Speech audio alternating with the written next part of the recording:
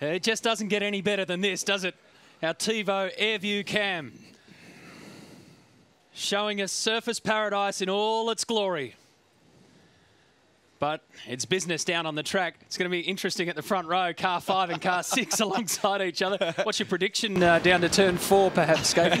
I'll have a lot of money, Matt, that there is no contact between those two cars. After FPR's dramas yesterday, it'll be it'll be gentlemen racing. No, no, you go first. No, no, you go first. well, they might um, take their time so much that the cars behind them end up collecting them on the way. It will certainly be a dramatic start. There's no question about that. And it's a staggered start here along the front straight of the Gold Coast, but we can't wait for this one.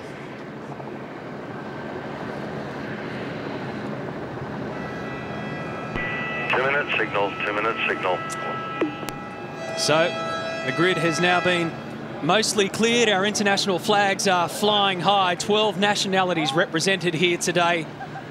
In what has been an outstanding weekend of motorsport and the V8 supercars taking pride of place on the streets of Surfers Paradise. Let's check out the Fuso start grid and run you through some of our co-drivers as well. Winterbottom and Youlden and Richards and Will Power form an all FPR front row. Courtney and Luff, car 18, position three against Whincup and Steve Owen. So there's your two championship contenders. Jason Bright and Alain Menu, a two-time British Touring Car Championship winner. Shane Van Gisbergen and John McIntyre, all Kiwis. Car 33, position seven. There's Paul Dumbrell and Jacques Villeneuve, the Canadian in V8 supercars. Jason Richards and Andrew Jones alongside Rick and Owen Kelly. Car Triple Eight will start from position 11. Craig Lowndes and Andy Priaulx from the UK, three-time World Touring Car Championship winner. Dario Franchitti won here in the IndyCars in 1999. Yvan Muller driving with Greg Murphy. Ivan from France, World Touring Car Champion, and also has won in the V8 Supercars, the Sandown 500, some five years ago. Scott Dixon paired up with Todd Kelly. They'll start position 16. 17 belongs to Davison and Brabham. 18, D'Alberto and Tiago Monteiro. 37 Formula One starts in his career. Look out for Sebastian Bourdais today. He knows how to win here, and he showed yesterday he also knows how to handle a V8 supercar. Will Davison and Ryan Briscoe. Ryan was the last winner on the streets of Surfers for the IndyCars in 2008. Helio Castroneves with Tim Slade, Fabian Coulthard and David Reynolds. To the rear of the grid, Russell Ingall teamed up with Jack Perkins, Karl Reindler and Fabrizio Giovanardi, a two-time British touring car champion from Italy. Another Italian, Dean Fiore with Gianni Morbidelli, 67. Formula One starts and car 29, uh, car 30 in position 29 is Nathan Pretty and Scott Pruett. They will start from pit lane. One of the interesting things for me, Matt, is the uh, fact that after yesterday's race experience, I was wondering to myself this morning, and I apologise for this voice, folks, that uh, would the teams go about the strategy play with how they use their drivers a little differently depending on what they experienced yesterday? And the answer is they've pretty much duplicated what we saw yesterday. Here's the track that Mark and Matty have been describing in great detail. Three kilometres, 15 corners, and uh, it's it's been a real success, that new hairpin down at turn four. There's been a lot of action and a lot of passing down there. It has been good, hasn't it? The flow through one, two, three has made it faster. And it's made it a, a, a proper braking area into that hairpin, Neil. And we saw lots of chaos there yesterday. We'll probably see a bit here today. Two cars starting, car 24 and car 30 from pit lane. So that's probably not a bad policy either. so just to go back to those remarks, if you sort of look at um, the, those that you might regard as the nominated driver versus co-driver, the more senior and experienced V8 supercar driver, because they're all senior drivers in this field virtually, uh, the vast majority have got their inverted commas co-driver in the car. There's uh, David Reynolds on board there. So uh, the exception to that is again Michael Caruso in the Fujitsu entry. So remember yesterday had a very good opening sequence and they put Pat Long in later, Here's Jack Perkins. Car number five, for example, Luke Youlden's at the helm.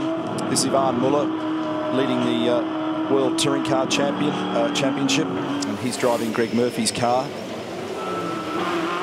Murph had a lot of pace yesterday in the late stages of the race and found himself in a tangle. Here's Owen Kelly.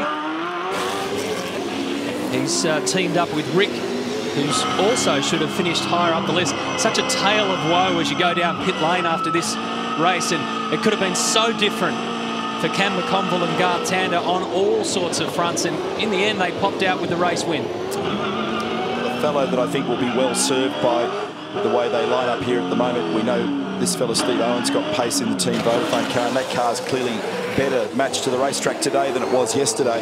But Stephen Richards will start off effectively the staggered front row in the number six Ford Performance Racing Falcon. Should be pretty handy. He's got a lot of mileage under his under his belt. He knows the track, he knows the cars, and uh, he'll be well back, served back, here. Back, Well, back about 10 metres. Yeah, Luke, Luke Youlden has missed. Okay, you, you're, right- you're lined up in the box. Just keep going back, mate. He's- about another three metres. He's driven past the spot. past the Keep spot. going, keep going, keep going, keep going, keep going, keep going, keep going, keep going. Okay, stop there. Okay, mate. It's a long race. If you need to leave us at any stage, you can catch our coverage on your Telstra Next G mobile phone. And that would have rattled Luke Youlden a little bit. That's not a good start. No. Yeah, I mean, it's not the sort of thing you need going through your mind, trying to find reverse, trying to get back to a box that you can't see. You're not going to be able to see any of that. So the boys on the radio, they're trying to help. And nerves have definitely played a part. I mean, Warren Luff is a cool customer. But you go down there to Jim Beam Racing and they admit it. Look, he was nervous yesterday because this is a big ah, weekend. He's driving the championship leading car. This is on. It certainly is. Stephen Richards on our left. Luke Youlden on the right. Behind them is Warren Luff and Steve Owen. Can they get through this one unscathed? The two FPR cars side by oh, side lead them down. In trouble at the back. Also Jason Bright in big trouble. He's dropping a bunch of spots. They had a broken axle with that car yesterday. Through the chicane the first time. The trading post car is basically neutralised. Down around turn four. This is where all the drama unfolded yesterday. Unbelievably, they've all gone through cleanly. So menu, Alain Menu on board with Jason Bright's car has gone right to the back, and Greg Ritter was the Fujitsu car that was basically stopped. Great start, Steve Richards. Luke Youlden right behind, Steve Owen, Warren Luff, and McIntyre in Van Gisbergen's car. That's your top five. And- And stopped. This is bad news. This will be safety car for sure. On the grid, Safe for the car stopped on line, entry to turn four, safety car continued through pit lane. There you go. Exactly the same as yesterday, but without the carnage. And then back on, ignition switch off and then back on, please. running Yvan, uh, Alain Menu through the processes here on the trading post entry. I think it probably started with a clutch problem. Um, because you just have a look right in the bottom right of your screen there. You just see the orange car. It moves away okay. There's the Fujitsu car parked at the back. That's Greg Ritter. But then along the, the short straight section leading into turn one, see him losing all those spots. And uh, Greg Ritter's reporting having to start the car in gear in 33, so he had a clutch problem for sure in 33. Oh, they've done ama- an amazing job not to hit that car. Folks, you, you cannot believe the acceleration of these cars. And just have a look how they miss him. Firstly, Jason Richards, then Andy Priaulx, or oh, it's actually Andrew Jones in that car. so both those guys Ryan did a really good job. Ryan Briscoe missed him by nothing. Millimetres. Now this is the view out the back of car five. Luke Youlden has a good look around to make sure the coast is clear. Stephen Richards by this stage says, I'm getting out of here.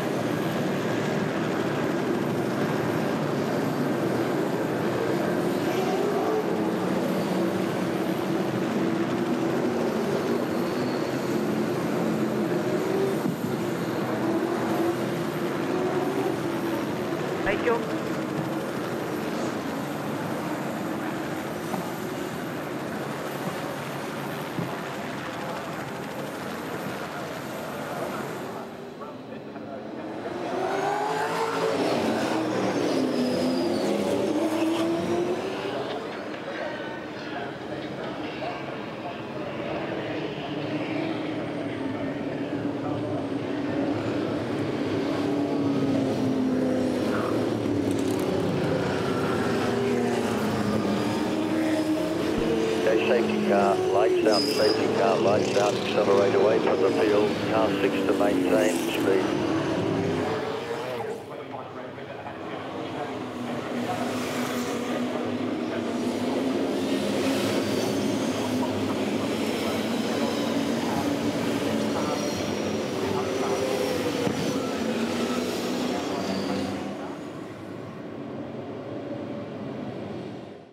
So in a carbon copy of what happened yesterday without all the panel damage, we will have a rolling restart. The safety car has now left the scene Safety car clear, Richard. and we're ready to go. Stephen Richards leads the way. Luke Youlden behind him. Steve Owen is tucked in in third. Down they go, single file. It was a very conservative restart there by Steve Richards. He started, accelerated the car very, very late. Didn't get the, he got a little bit of wheel spin and didn't get the yield versus Luke Youlden that he would have been looking for. And that's basically bunched everybody up. That's Owen Kelly up the inside of McIntyre. They've made great ground. They basically started They started in 10th, 10th. and they're now 5th. So it's a really good first, or first lap properly. This is now the first lap of the race. This is interesting. Villeneuve has slotted back a couple of spots. Michael Caruso got him. So Villeneuve now drops back to ninth. Oh, Oh, massive crash. Yeah, That is a really big crash. it's car number four. It's David Brabham. He'd made really good ground also, Matt, but that hit the fence really hard. Side for some reason. Car's done. Uh, Owen Kelly was pointing the wrong way too. That was huge. So that was Owen Kelly rejoining, coming from up the escape road at turn 11. But David made massive contact with that wall on the left. Well, the best news is that he has found the runoff down there at turn 11. Meanwhile, back around the front straight, Stephen Richards continues his lead. So it's Youlden second. There's Owen. Safety car boards and flags, safety car boards and flags. So there must be a lot of debris down there. It was massive impact. And the car's out of the way, but the race director Tim Schenken has alerted the safety car. There was another car involved. Here it Oh. is. My goodness, he has just gone flying into that from the right-hand side of the circuit into the left-hand wall. It was It's Cam McConville's the other car. Have a look, and it's a there's contact. Look at this, and then that is fast. That's fourth gear, and that is a really fast section of road. The car would be doing something like 180 kilometres an hour. I think Cam had started to make a move to go around the outside and the gap disappeared. So there's been a misunderstanding there. I think Cam has actually made contact, didn't he? Yeah. To the left-hand rear.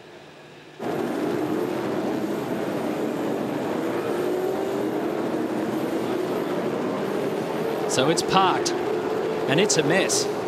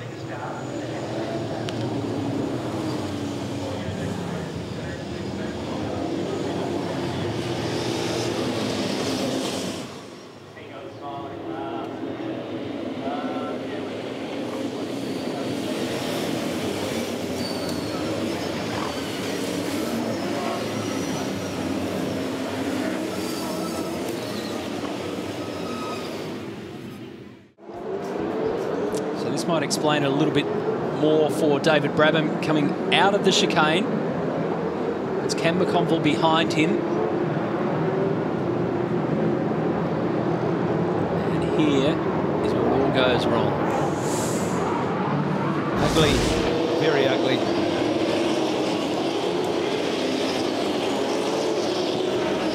Yeah, boys, I was just talking to uh, Rob down here at HRT. Cameron McConville said basically the gap closed in front of him, so he didn't see himself so much a part of that incident. Uh, it's quickly on the Jason Bright car. It's dead. Great technical rundown there, Larker. Good job. Jason Bright didn't get a drive today. Alain Menu was behind the wheel.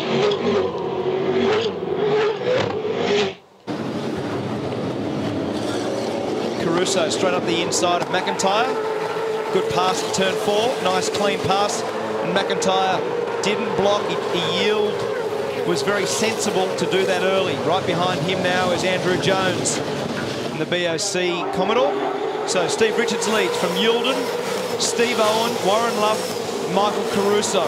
It's your top five. And these next few laps are quite important. You want to go and do three or four really good, solid laps. Don't make a mistake.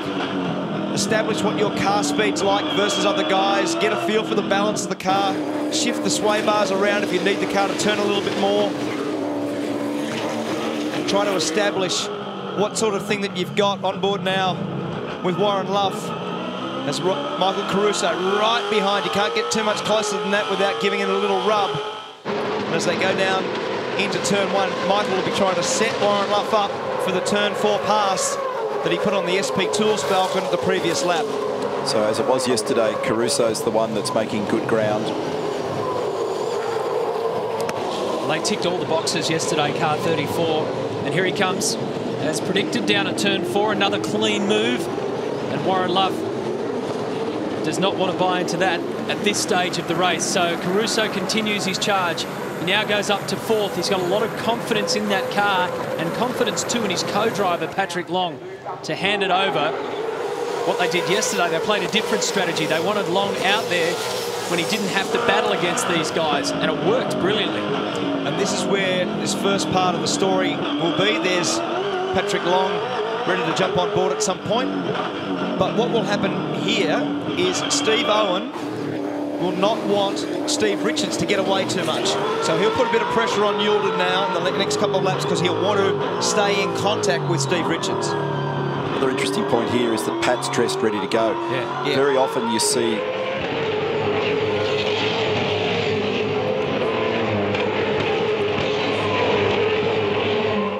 Very often you see the other driver not necessarily always ready. It's, it's not a bad idea in a race like this to be dressed ready to go, just in case things change quickly. So he's absolutely ready and on standby to jump in if he needs to for any bizarre reason. And Neil, to add to that, down on the grid before the race, both the drivers, Holdsworth and Patrick Long, took their hands devices, their helmets, their gloves, everything down there. They waited to see who was in what car before they actually made the decision who was going to drive. Steve Owen pulls up alongside Luke Youlden.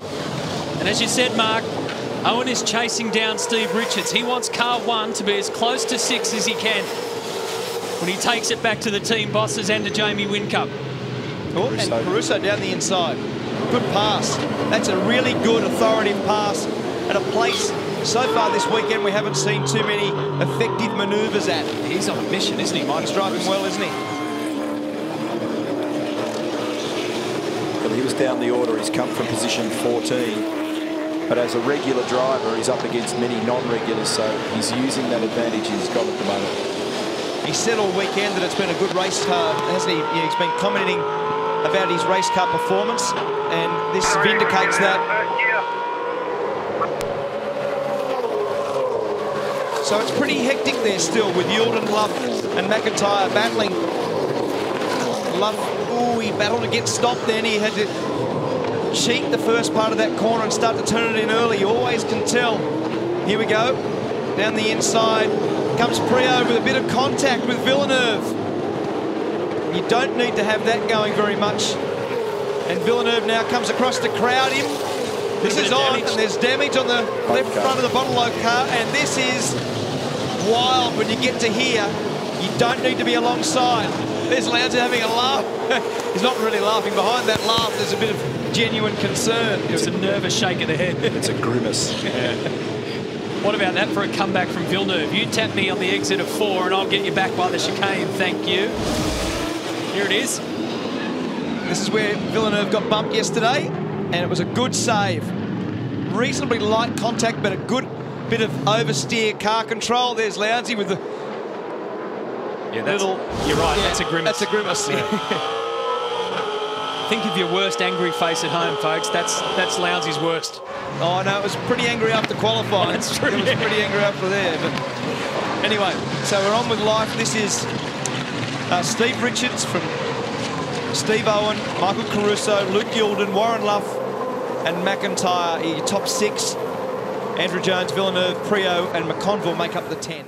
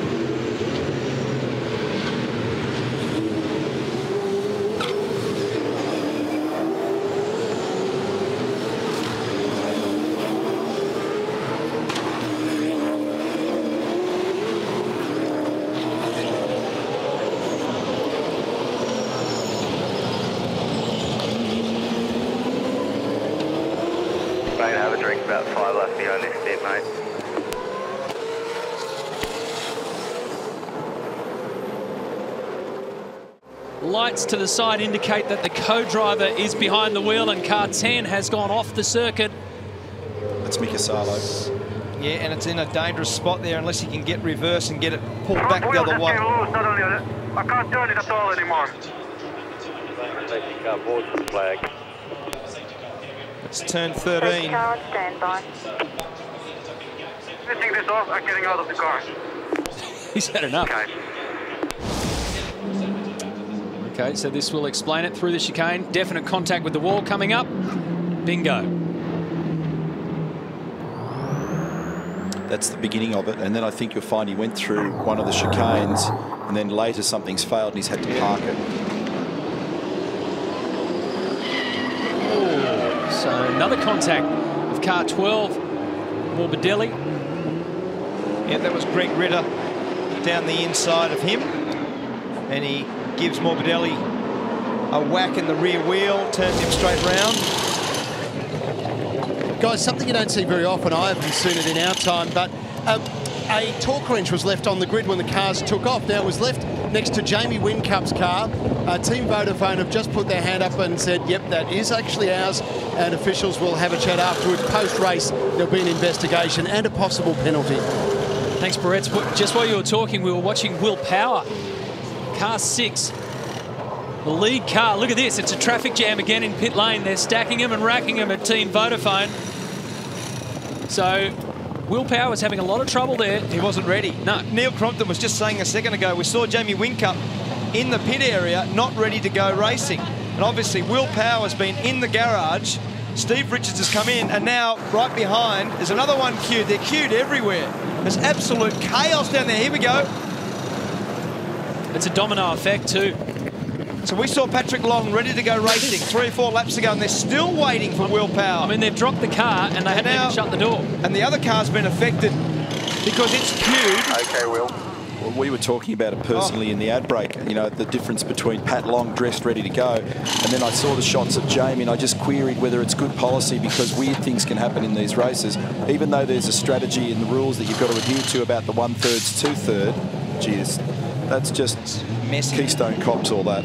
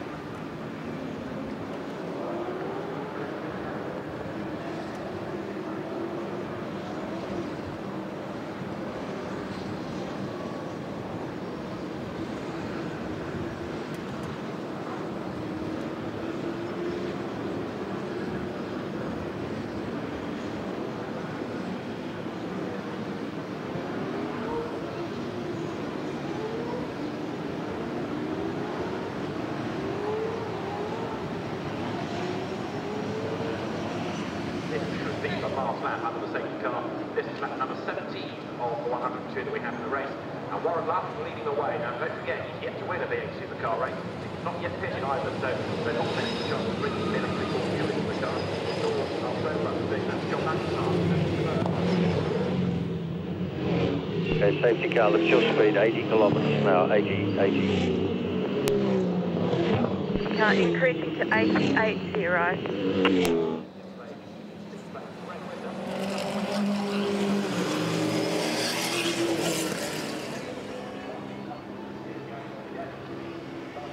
Safety car lights out, safety car lights out, accelerate away from the field, car 18 to main speed, main speed.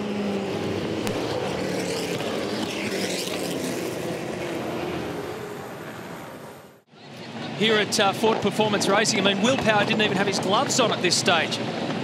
The driver's assistant is trying to work through his helmet setup.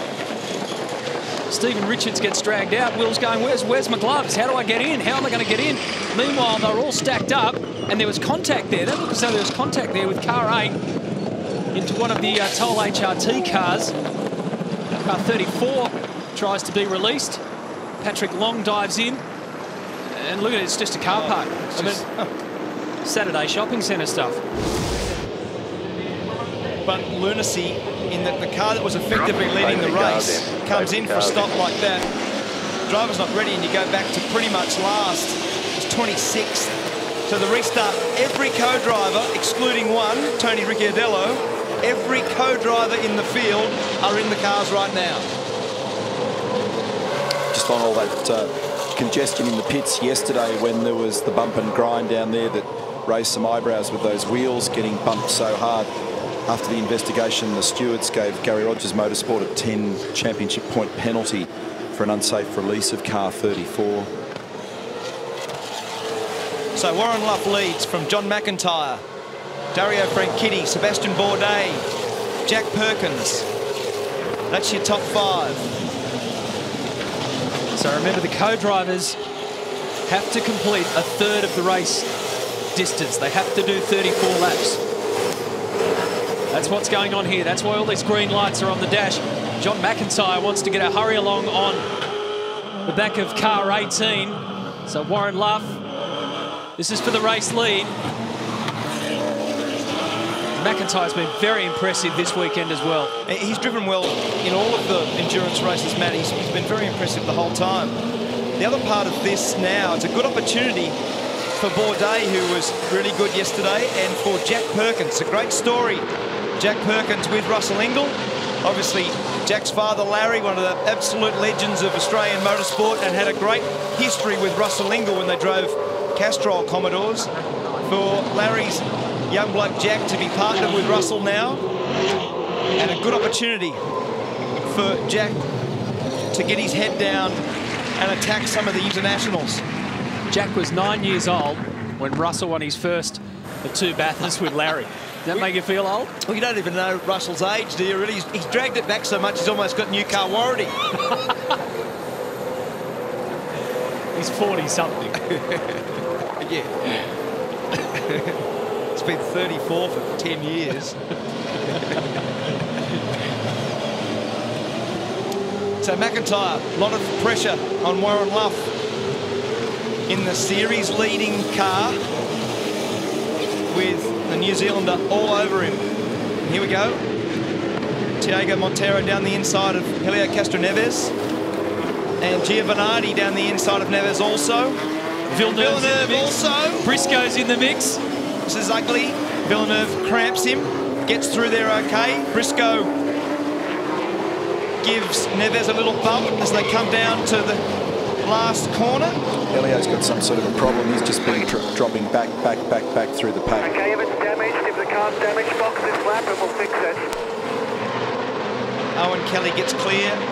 He's coming in. And there's Will Power right behind Owen Kelly. So Helio's in. Stay in the car, Helio, stay in the car. We'll just check out the damage. So the car's damaged. We'll have a look and see what that damage is. There's nothing in this one out at the front. Luff just can't shake John McIntyre. The lead's only 0.4 of a second. the rearward view tells the story. They go to work on the Wilson security car. Castroneves stays in it and heads back out.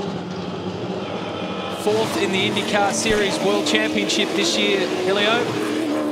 Just ahead of our Ryan Briscoe. And this is this battle I was referring to before. There's Dario Franchitti, one of the world's most accomplished drivers, teaming up with Steve Johnson for the weekend. And right behind is Sebastian Bourdais, a very successful French driver driving for Peugeot in their sports car program with young Jack Perkins right behind him. And he'll make Bourdais work.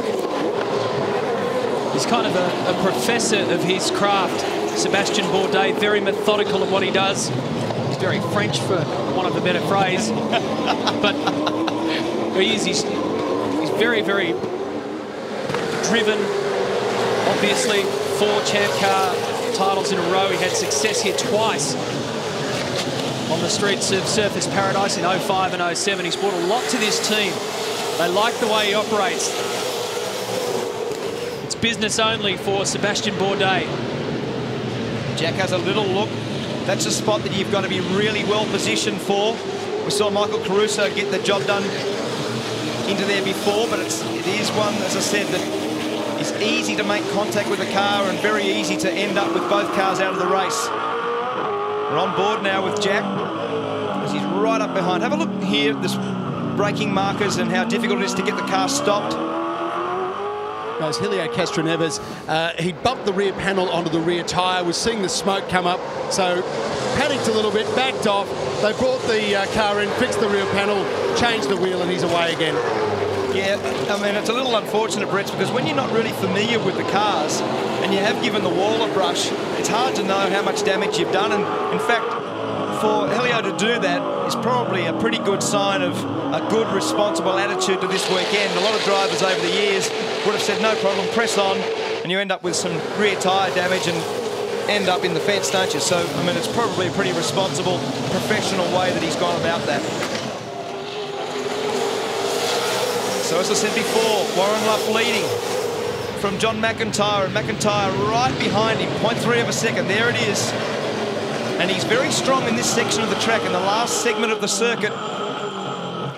It's definitely hotter out there also. We can see that cabin temperature almost 40 degrees. And a lot of these internationals not used to the demands of a V8 supercar, nor the temperature inside these cars. And you start to work pretty hard. You think safety cars make it easier, but in fact, sometimes they make it worse, Neil, don't they? You end up, you get the heat soak, you don't get the air through the car, and you start to feel the warmth of what a Gold Coast track provides. Damage. That's Caruso.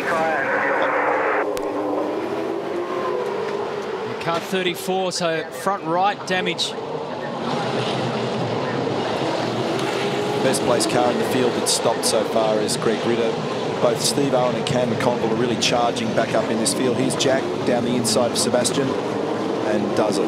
Good pass. I just wonder what Patrick Long has hit there in car 34.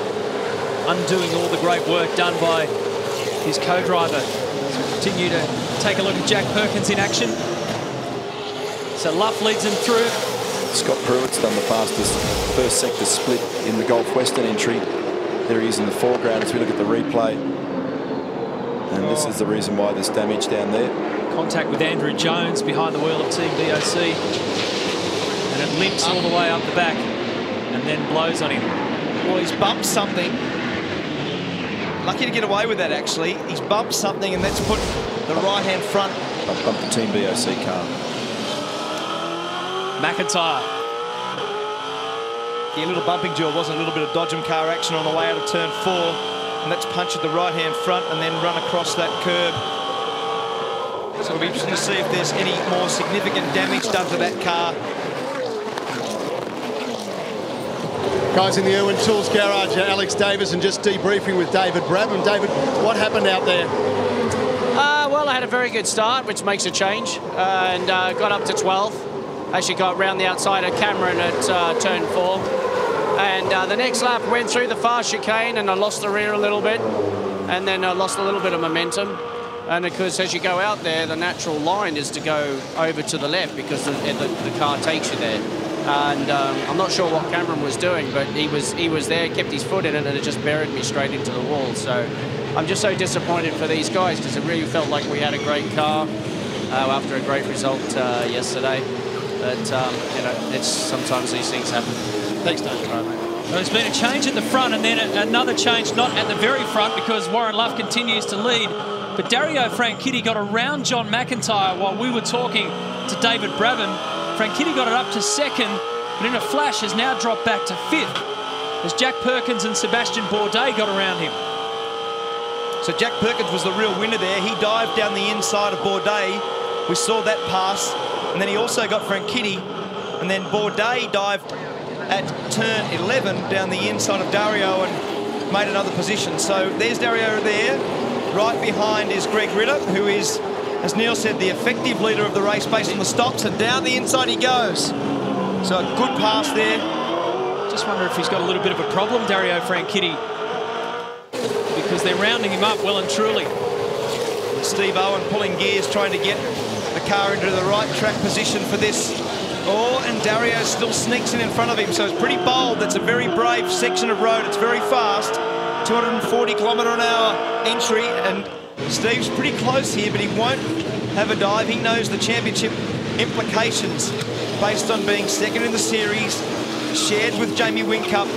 So Steve will be a little conservative in making sure he gets a good pass. But he, oh, here he is, a little conservative. Well done, Scapey. Just ran straight into the back of him. Was that a conservative touch? It was a very conservative touch. that would be contact for no contact reason. So Franchitti has responded to that challenge. Steve Owen gets encouragement. Warren Luff's lead at the front is half a second over John McIntyre. Tell guy that's done a really good job also is Scott Pruett, who started basically last from pit lane, and he's up to ninth. So he's done a good job. We've said all weekend he probably hasn't done as many laps as he would have liked. It's been a horror weekend for them, but he's done a really good, solid job. That's him just up behind Steve Owen and Cam McConville. So David Brabham was pretty critical of Cam McConville there. We were sort of riding with David in that incident coming out of the fast chicane. A lot of damage to that car and out of the race as Warren Luff continues to lead this race from McIntyre. McIntyre is keeping the heat on. He's done a really good job. Certainly keeping Warren honest in this important phase of the race. They've got to get to at least lap 34, these co-drivers, before they can change over. That's their minimum requirement as one-third of their 102 laps in this 300 kilometre race today. Our Kiwi viewers would know John McIntyre well, more than 50 races in the NZV8 Championship. He's 33 years of age. He pops up regularly in the endurance events. And right now, he's doing a terrific job enforcing maximum pressure on the championship leading car driven by Warren Luff. And he's doing a good job because I think the straight line speed is not that good, Matt. Um, this race, although it's not necessarily about fuel economy, at Bathurst, the Stones had a fuel, the fuel consumption was a big part of their strategy. They wrote their fuel consumption back. They basically had an economy run engine setting for the day, and that hurt their overall speed. You've got to be mindful of that here to give you flexibility in terms of strategy. And if you watch, when they come onto the main straight, McIntyre has been really strong in this segment of the lap but watch how close he is to the back of Warren Luff when they come onto the straight and what sort of gap Warren Luff is able to sneak away. Watch this. Good drive out of that corner. Obviously, some of the gap comes from there. But you watch him just get away from McIntyre down the straight.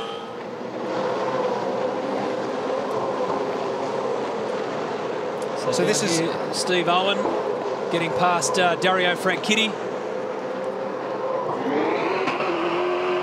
Dario very professionally stays wide. Nice move, Steve Owen. Nice clean manoeuvre. And the next one to line up, this is replay from just outside. They both get around there quite well. Not too much drama there. And the next one to line up for that move will be Cam McConville.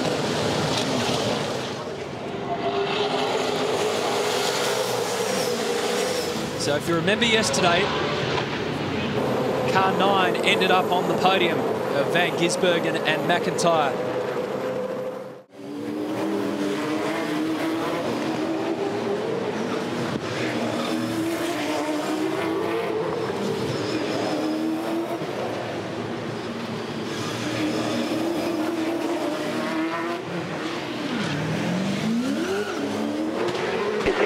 Flat, mate. Pit. The uh, front spoiler's hanging underneath the car.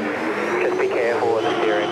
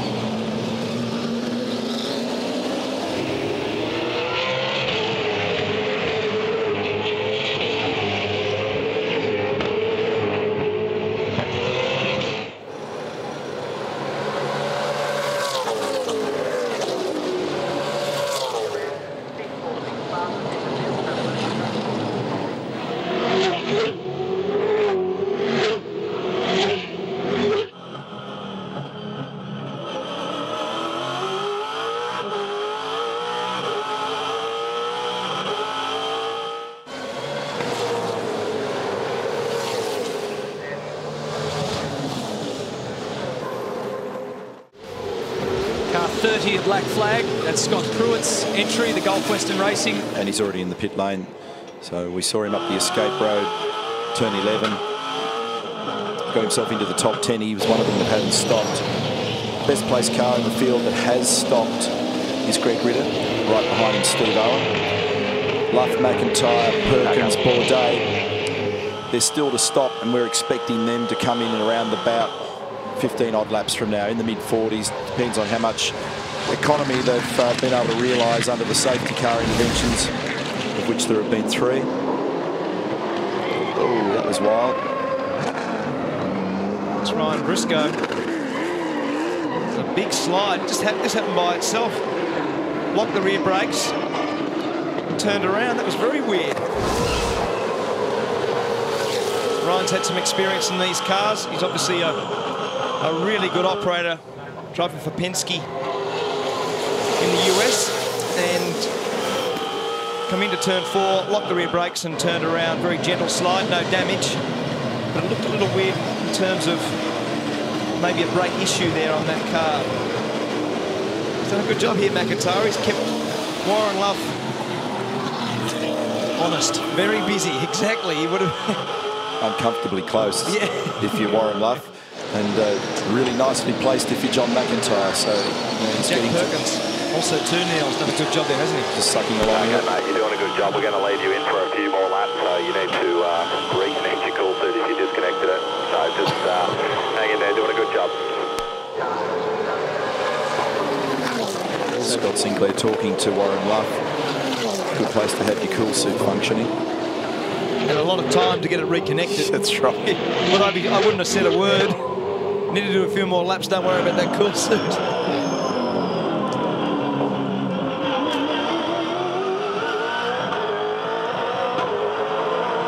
Well, that's one of the other things too with the modification to the circuit. There's there's no downtime really. The back straight shorter.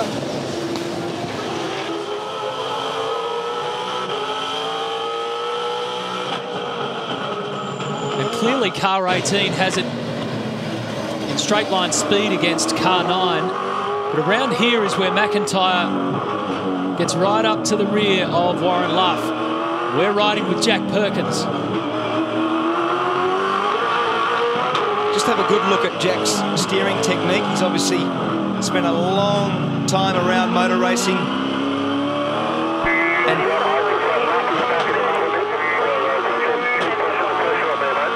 I'm impressed by, that was Paul Morris, in his ear. I'm impressed by his technique. Just have a good close look at a lap of this place. It's a very busy lap, especially when you... Oh, McIntyre, a little locked wheel there, a little right front and straight oh, through. Oh, so with Jack.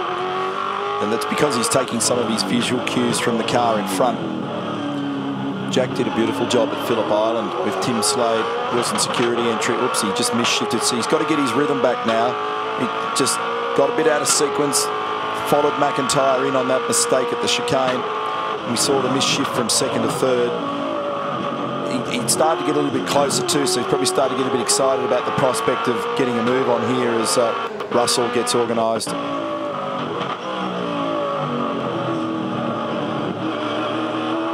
The best place or the best thing for Jack to do at the moment is just sit, wait and watch.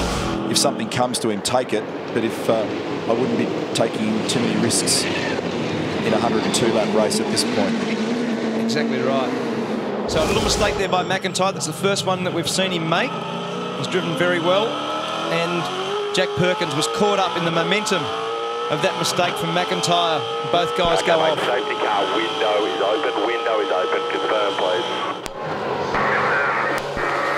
Jack had three options coming down here as when McIntyre made his mistake, Jack could have gone further left, found the wall, in the middle, found the tyre bundle, or go straight ahead and take the clean way. Thankfully, he took option three. It was smart thinking on the run. It's a split-second decision, and he made it well. And just have a look. Sebastian Bourdais hasn't been dropped off too far. He's right behind Jack Perkins. So again, a very impressive run from the Frenchman. Safety car is out. And Sebastian Bourdais just went straight through the chicane as we were talking about his craft work. So it's A bit of body work here, that's the reason for this. There was a couple of bits on the track yesterday too. Now, heaps of people will take the chance to stop here. Oh, big slide, Jack.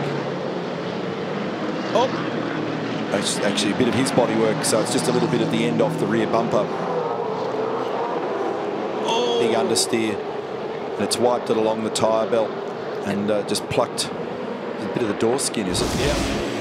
Very lucky not to go in the fence there. Very lucky. He'll be disappointed with himself too because he's, I mean, we've been riding with him. He's been doing such a good job preparing for the driver change anyway, and that just last minute contact with the wall. So this will be chaos again because they're in the window for the co-driver stop. The, the guy who is coming in is credited with that lap. So lap 34, you must do 34 laps, and here they are. He's in reverse gear in pit lane, Yeah, which you can't do. Which he may not know the rule in Australia. So he's had to drive He's off. given up, yeah.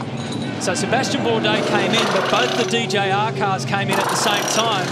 And by missing his spot, Sebastian Bourdais had to bail out.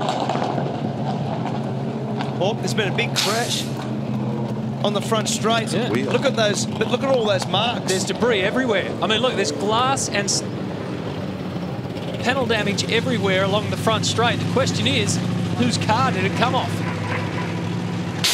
Shouldn't be too hard to find. It'll be the car with three wheels on it. It's a big crash. Team BOC, car eight. Look at that, the rear's gone. Well and truly gone. That's just spun because it's just got no brake pedal. Oh, that's Scott Dixon. And that's Andrew Jones. Here we go. Oh, he stopped. What on oh! earth's happened there? What has happened there? He stopped on the front straight. And Scott Dixon's had nowhere to go but straight into it. And that wheel has been cut loose. In fact, two wheels. Another one went flying down, so one's come off car seven as well. The wrong thing to do, or should they have not been hard up it? Really shouldn't have been hard up it. No one obviously told them where the safety car was.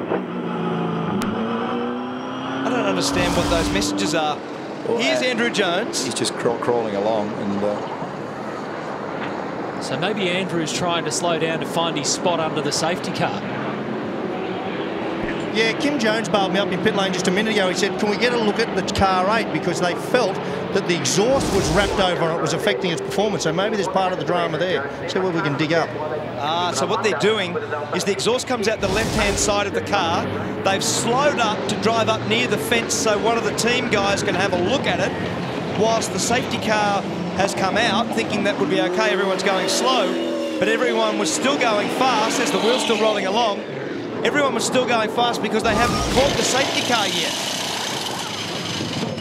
What a bizarre incident. Oh, that was very strange.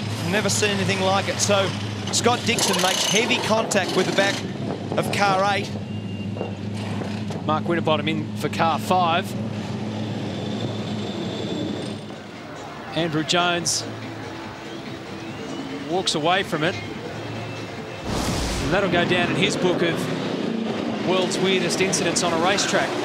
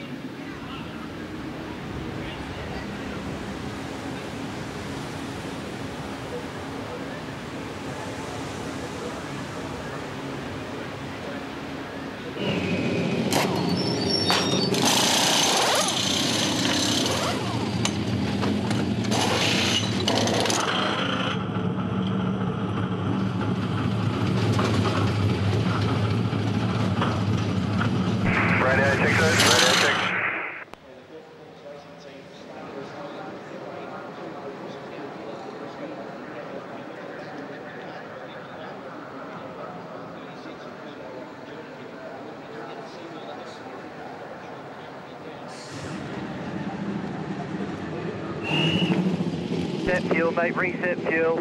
It's all solid at the back there, nothing's going to come loose. All your tyre clearance is good. Okay, so press on.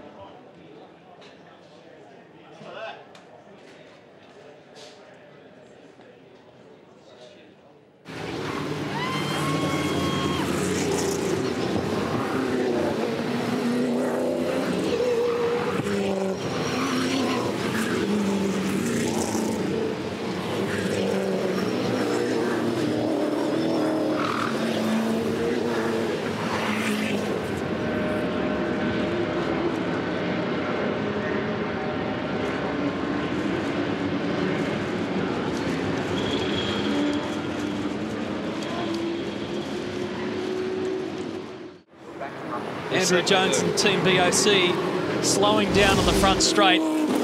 We think so. Some of the teammates can take a look at the left-hand side of the car. The result is that Scott Dixon comes flying down the front straight at the same time at regular pace and finds himself with nowhere to go but into the back of the car in front of him. Not only that, concertinaed into the rear of car 51. So the Castrol car belonging to Greg Murphy and Yvan Muller has major damage to the rear as well. Larko?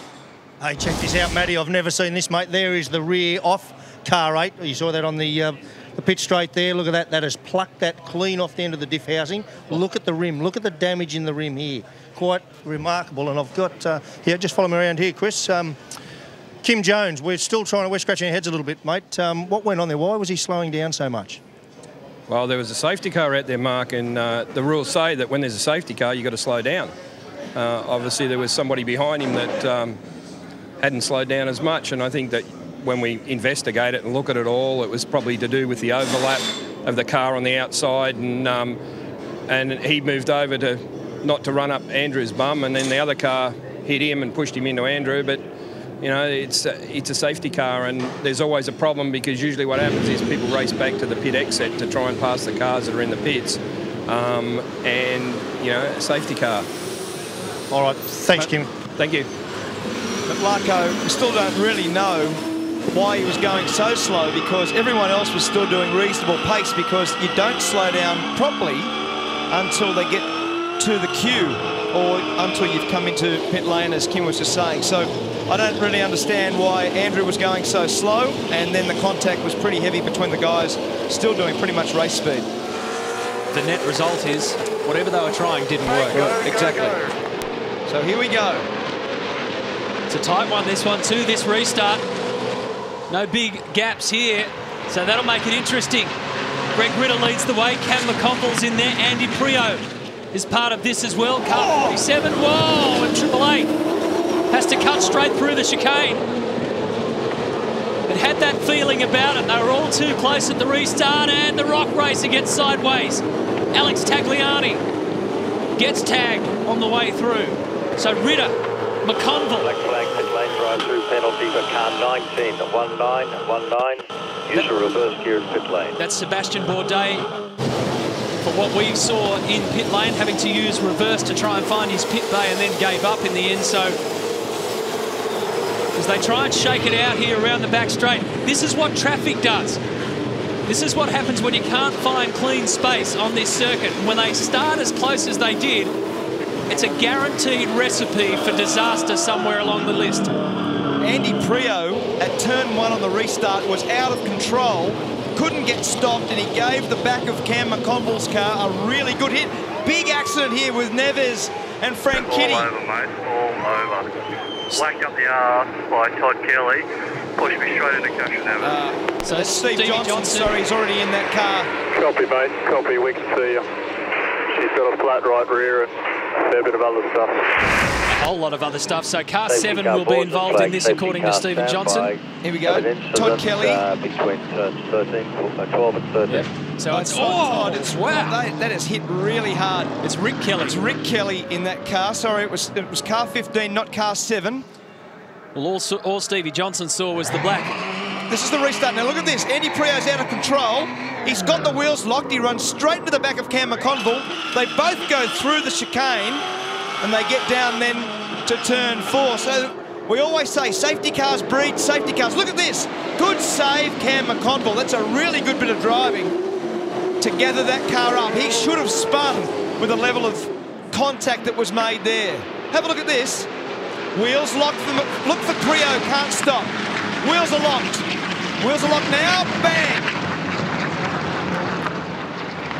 Good save. For a second there, Cam McConville was looking straight at that concrete wall on the left.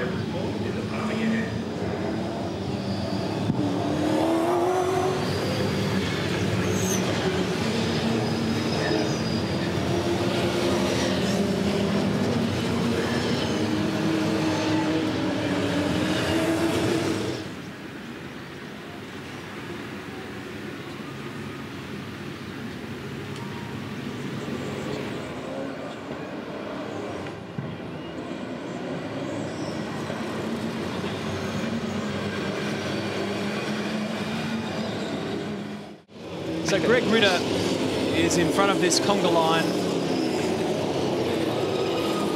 Well, uh, certainly been dramatic. We know that much. It's actually been pretty good fun. Guys, Helio Castroneves back in the garage and a slightly knocked around wrist, but uh, that was pretty wild stuff out there.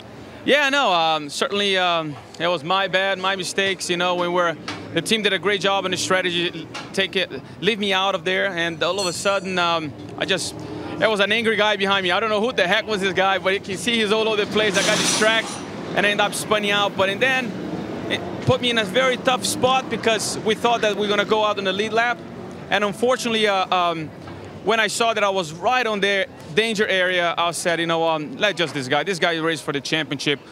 I thought, in fact, I even mentioned to the team, I was like, listen, tell those guys to take it easy. You know, I'll get out of the way, no problem. But uh, I guess not everybody uh, got the info. So uh, it was sad because somebody pushed me from behind. Have no idea. I think it's just mentioned. It's only 50 laps, still 50 laps to go. Whoever took me out or got impatient, I mean, I, it, it damaged his race as well. But I was just trying to get out of the way. It's a shame. feel terrible because obviously I don't want to hear crash cars. I want to just learn. And Helio, your lap times were good too? Yeah, no, once you was running in the front, you know, you, you kind of like understand what to do. So I felt really, really good. And uh, that's what I'm saying. I mean, it was just a matter of like just giving a little more time. Uh, it, it, was fun. This, this, this event is just incredible. I'm sure next year is going to be even more fun. Uh, but again, um, a shame. I want to give a better result to the team, uh, uh Stone Brothers, but uh, Tim Slade, a great guy. So hopefully um, next year we'll be back. what do you think of him, Tim Slade? Because we know he's an up and he's a talented up and coming driver here in Australia. What do you make of him? Has he got the potential? Oh, no question about it. Let me tell you one thing.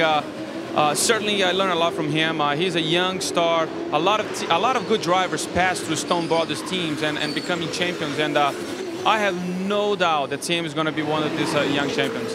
Uh, Helio, will you come back and do it again next year? Oh, I'd love to if I have a if I have another ride. So uh, it would be great. Uh, definitely great strategy, great event. Uh, the Aussies, great, good job. Thanks, mate. Hey, if he doesn't get a drive, Helio Castroneves, let's all pitch in and bring him out anyway. He's great value. He's been great, hasn't he? Yeah. His absolutely. passion is infectious, and I reckon he's sold himself a bit short there in that incident because he's unaware that Rick Kelly gave Stephen Johnson the hurry along. It was a concertina effect.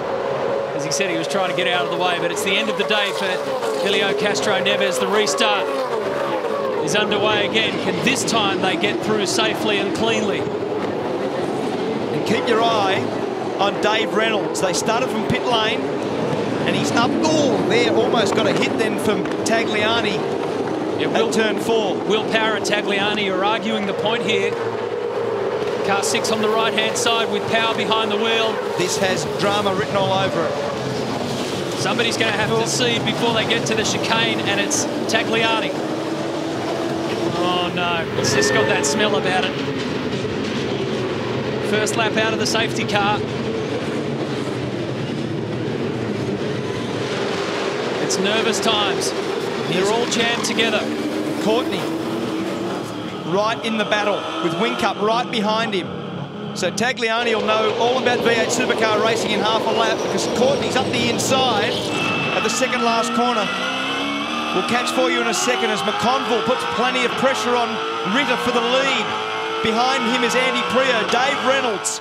And then this battle, Will Power with Tagliani, Courtney and Whincup. So just have a look. Right in the background of shot is Tagliani. Oh, mistake from Ritter. It's cost him. He's had to go straight through the chicane. There may have been a little bit of contact under brakes then. So there's Courtney. Tagliani only just makes that. Now this is an important part of the race for James Courtney as he comes up alongside Tagliani. If you effectively take Tagliani out of this picture, you've got Courtney against Whincup, the two championship leaders. Now Whincup is eighth on the road, but he's first in the queue of cars to have stopped twice. They stopped on 14 and 34. So he's got an advantage here. I think Ritter's in a bit of trouble. At least Lee Holdsworth can laugh about it. I think you've seen a lot this weekend. McConville is looking very racy. There's Priaulx with Dave Reynolds right behind him. This is what I thought was a bit of contact. Uh, it wasn't contact, he did it by himself. So McConville makes it through the chicane. Ritter goes straight through. Now, he actually got a little advantage out of that, so that's normally not the case. You're supposed to ensure that you don't get a gain from running straight through the first chicane.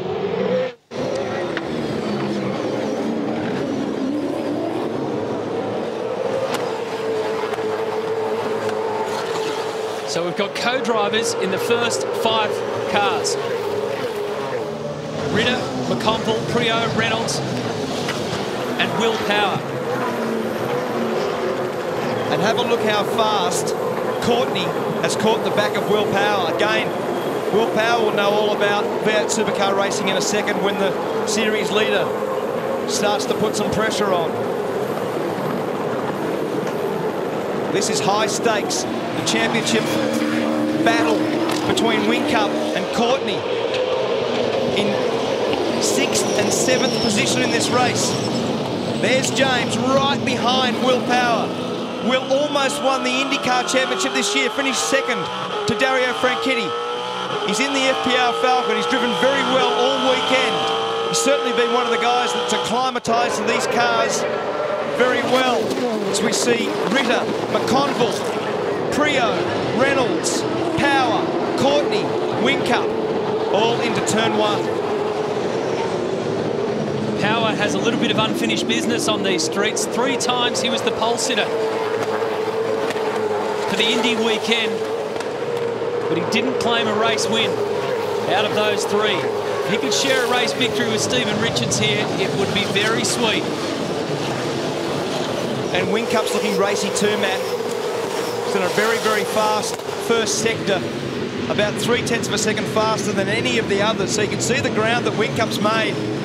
Courtney's being held up a bit by Power, and it's a very hard place to pass. So James Courtney will want to set himself up now to get through the first one, two, three complex chicane and put himself in a position to pass Will Power at the hairpin. Oh, wheel lock there for Power. Very easy to run wide into that Armor All fence on the right-hand side. We've seen plenty of cars in there over the weekend. So have a good look for James Courtney's strategy. He's a little bit too far back now. He's got to get a good run through this one, two, three complex and have a dive. He's got to get by. And these guys are aware too of the championship picture. Will especially knows that James has the championship Oh. lead. No, not quite close enough. He needed to be closer than that. Warren Luff looking on. A good first stint for Warren. Did a good job, led the race. Did 34 laps straight out. And it was a hard 34 laps for all the guys because it was interrupted time and time again by safety cars. One of the things about this circuit is that you can be almost a second faster than the next guy, but it still makes it hard to pass. It's a, it's a such difficult place in terms of these different surfaces, the bumps, the walls obviously are unforgiving, and to get yourself set and to do a really good, safe manoeuvre is hard. So there's been a couple of mistakes, just little ones from Will Power over the last two laps, but still, Courtney can't get around him. There's not a lot of room to move. Ritter leads them down the front straight. McConville is second. Andy Priaulx, car triple eight, is third. Reynolds is fourth. Fastest lap time just posted by Shane Van Gisbergen. 113.86. The young Kiwis on the charge. We were waiting for it. His co-driver did an excellent job, John McIntyre. This really is game on. Approaching the halfway mark of this 300k event. It was stop, start, stop, start from the word go with safety cars and damage. But now they've been let loose. And there's little battle packs emerging all over the place. Lee Holdsworth getting ready. So they'll bring in Greg Ritter shortly, you'll say.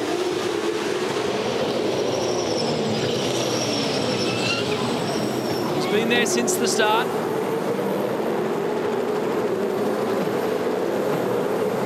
A lot of pressure on, on Greg Ritter there. Cam McConville was right behind him coming onto the straight. A little bit of contact. And again, as you can see, if you can't stay right in the slipstream, you can't make this brake manoeuvre into one. And that then means that you've got to get a run through here, just like James Courtney did there compared to Power. And that's Tagliani with a spin. Have to come in this lap, the rear tyres off. That's damage coming onto the straight. Yeah, so he's hit the wall on the exit of turn 15 and he's got damage to the rear right-hand side of the Rock Racer. Watch this. There we go. Oh, he got hit. He's got hit. He got turned oh, around. He's hit the inside wall. That was Russell Ingall who made contact with Tagliani. That's a welcome to Australia. There's another one for the books. Oh, that's nasty. So we probably need to see a little bit further back to see what the circumstance was there as we pick up on Whincup right behind Courtney. So again, this is really game on. This is the championship at stake. And the first three cars with all the co-drivers on board. Hey, Scapey, I don't know if that's just welcome to Australia. I reckon that's welcome to Russell Ingall. What had a look at all those cars yesterday, mate. Stevie Johnson's had the least damage. Who do you reckon had the most? Uh, do I have to have a real guess? What, what car number would it be? Would it be a little bit more than 38, not quite 40? Bingo. You win the prize.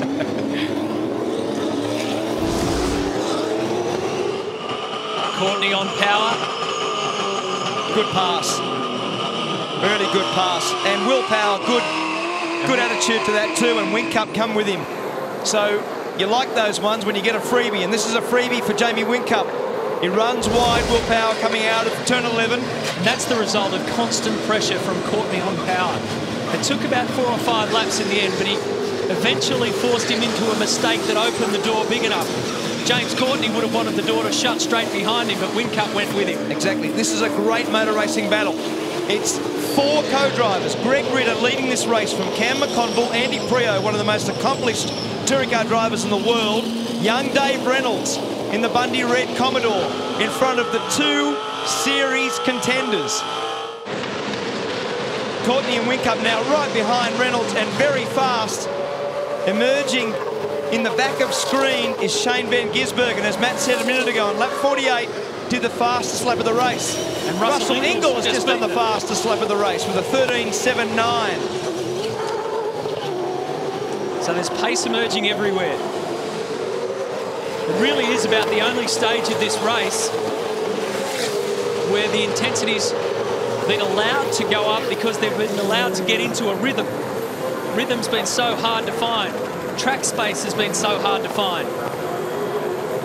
And the reason that Ingall has got a real pep in his step is that Winterbottom is right behind. Winterbottom is only four, five tenths of a second behind Russell Ingall, and Winterbottom's probably been the fastest guy through the whole weekend. So he'll be wanting to go forward based on his speed that he's been able to show. And right now, yep, Winterbottom is six tenths of a second behind, so he's right. Oh, look at this. I'll tell you This who'll be good. having quite a few looks in the mirror here will be David Reynolds. Yeah. because James Courtney is climbing all over the back of car 24. Ritter and McConville, one and two. Priaulx solid in third. There's David Reynolds. So Courtney has a look at the inside at four and will sneak through. And Whincup's going to go again. Whincup's loving this.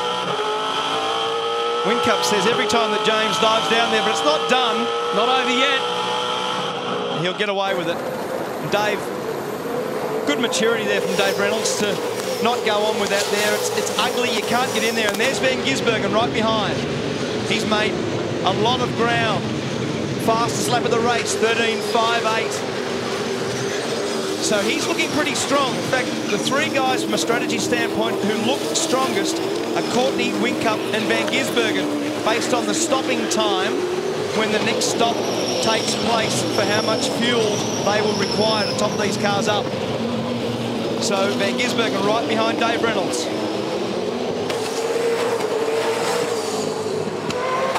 There's a lot of movement up and down pit lane in terms of the regular drivers getting their helmets on and getting ready to race. We can expect to see a change of car 33 very soon. Lee Holdsworth standing by to take over from Greg Ritter. Check out Andy Priaulx on the podium with Craig Lowndes yesterday. And now he's giving some pressure to Cam McConville. So this is on board with Dave Reynolds. Shane Van Gisbergen, who's been strong through the weekend. He's driven very well the whole year. This is the fast chicane. This is the TiVo helicopter shot. That was the wall profile that had changed the left-hand side from the earlier David Brabham Cam McConville incident. Hit the fence very hard. And this is now down to turn 12. This is the northern end of the track. Just through seven, mate. Down to the last two corners. Jamie Whincup showing good pace. Even with all this traffic, he was fastest to the second sector, the fastest time all day to the second sector. McConville's reporting a long brake pedal in car two because of the hot air that he's sucking into the front of that car. A long brake pedal means the, the pedal's travelling too far for his liking and he's stuck right under the back of Ritter, who will be in soon. And James Courtney has been trying to release himself from Jamie Whincup. In the process, what he's done is he's caught up to car Triple Eight. So he's now got a Team Vodafone double act going on in front and behind him. So he's got Andy Priaulx ahead and Jamie Whincup behind. the important thing is, over the last lap or so, relatively speaking, Whincup has been faster than Courtney. And when Neil was talking about the long brake pedal for Cam McConville, what happens is, oh, and Courtney has a little look down the inside. Turn 11 with Andy Priaulx. This could get ugly. They'll need to fix a bit of this because the potential for drama is going to unfold. Right on the back of that Triple Eight car. What Neil was talking about with Cam McConville is that the front brake temperatures increase because the car doesn't get any airflow into the brake ducts. So you get the heat soak from the car in front. You don't have the airflow. The rotor temperature, the brake rotor temperature increases. The brake pads fade, so their coefficient of friction at some ridiculous temperature like 900 degrees actually goes off and the brake fluid boils. So the, the, the pressure that you apply on the brake makes the brake pedal feel, oh, there's Whincup into the back of Courtney. Contact at turn four, the two series contenders. And he redresses, redresses. Wow, that could have been for a whole lot worse. I think that So- was a very smart call on Jamie's part. Clever play by Jamie Whincup. He's giving him a bump. He was Set ready him to attack. sideways, got alongside, took the position, but then gave the position away. Bringing car Triple Eight in this lap. Here he is again in replay. They'll bring nine in as well.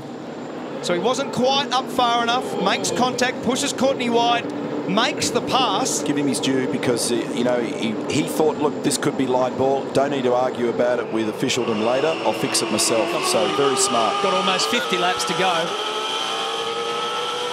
So Courtney will know, the guys will be telling, oh, again, this is good policy to bring him in and he's in.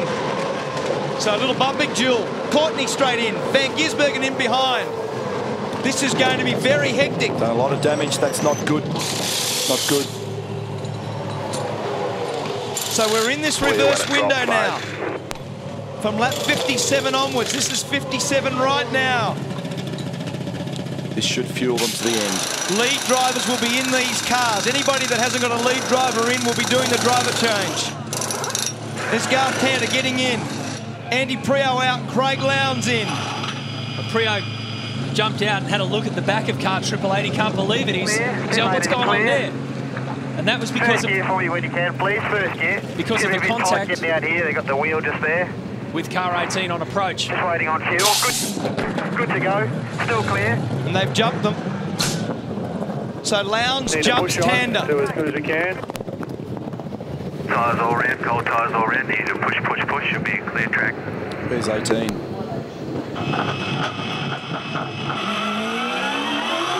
So where is James Courtney? He's down around turn five.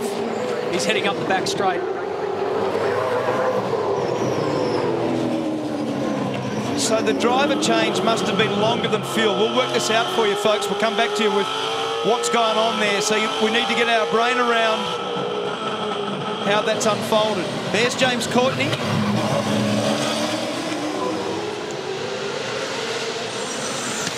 Van Gisbergen.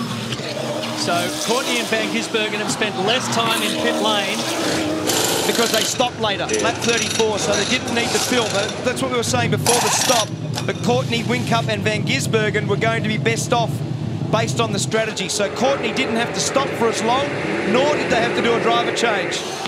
So James Courtney's track position now has been optimised by that strategy. Okay, mate, we got a clear track. Head down, please. Clear track ahead. So big, big lap. So it takes a lot less time to return the car to a full fuel load, given that they had the 18 car in on lap 34. Oh, Courtney in the fence. It's not a good start to a stint.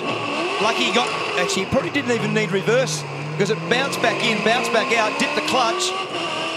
Now that's eventful stuff. That's the damage that's on the front. That's why there was so much damage. Whincup in to pit lane. Oh, that's Garth Tander stopped. Garth Tander stopped and looks like a lot of damage. A lot of damage, massive damage. Just blocked. Wouldn't turn. Had to try and get in front of that GRM car. That's a huge amount of damage to Garth Tander's car at turn one chicane. He's gone in the fence and the left-hand side front. Safety car out now. And that's Whincup in for the stop. Will Power's also in. Leader is car five. Car five remain on standby. So we'll have a look at this. This is Garth Tander trying to get by the GRM car, won't turn, and straight in. Oh, that has made very heavy contact. And that would hurt. That one would physically hurt. Have a look, this is on board. Oh, that is a big hit. Garth Tander on relatively cold tyres. And the reason that happens is you see a car in pit lane coming out, you need to be super deep under brakes to get across the front. Now watch Garth in this. Look at the Look movement in the driver. Wow, that's taken an almighty chunk out of that Toll HRT Commodore, but it's a teeth rattler for Garth Tander as well. He radioed back that he was okay. I reckon he'll be feeling it later tonight, though. Oh, see, this is the circumstance. You've got to get by. So the reason he was so deep under brakes is to get by the Fujitsu car. And then with cold tyres, you can't get the car turned. Is Garth now, just getting out of the HRT car.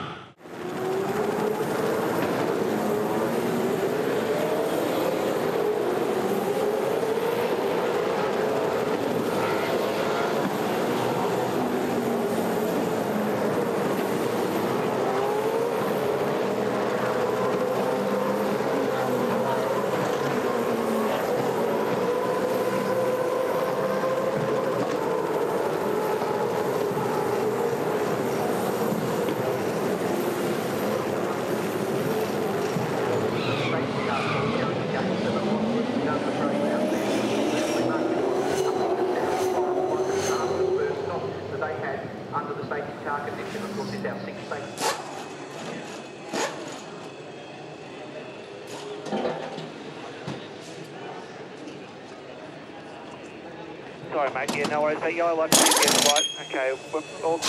Drop the car started. All clear, all clear, all clear. Yeah, the wheel locking or because all the lights are up a little bit, I'm not sure if it was that. Okay, 10-4, 10-4. Uh, safety car's coming down pit straight here. Uh,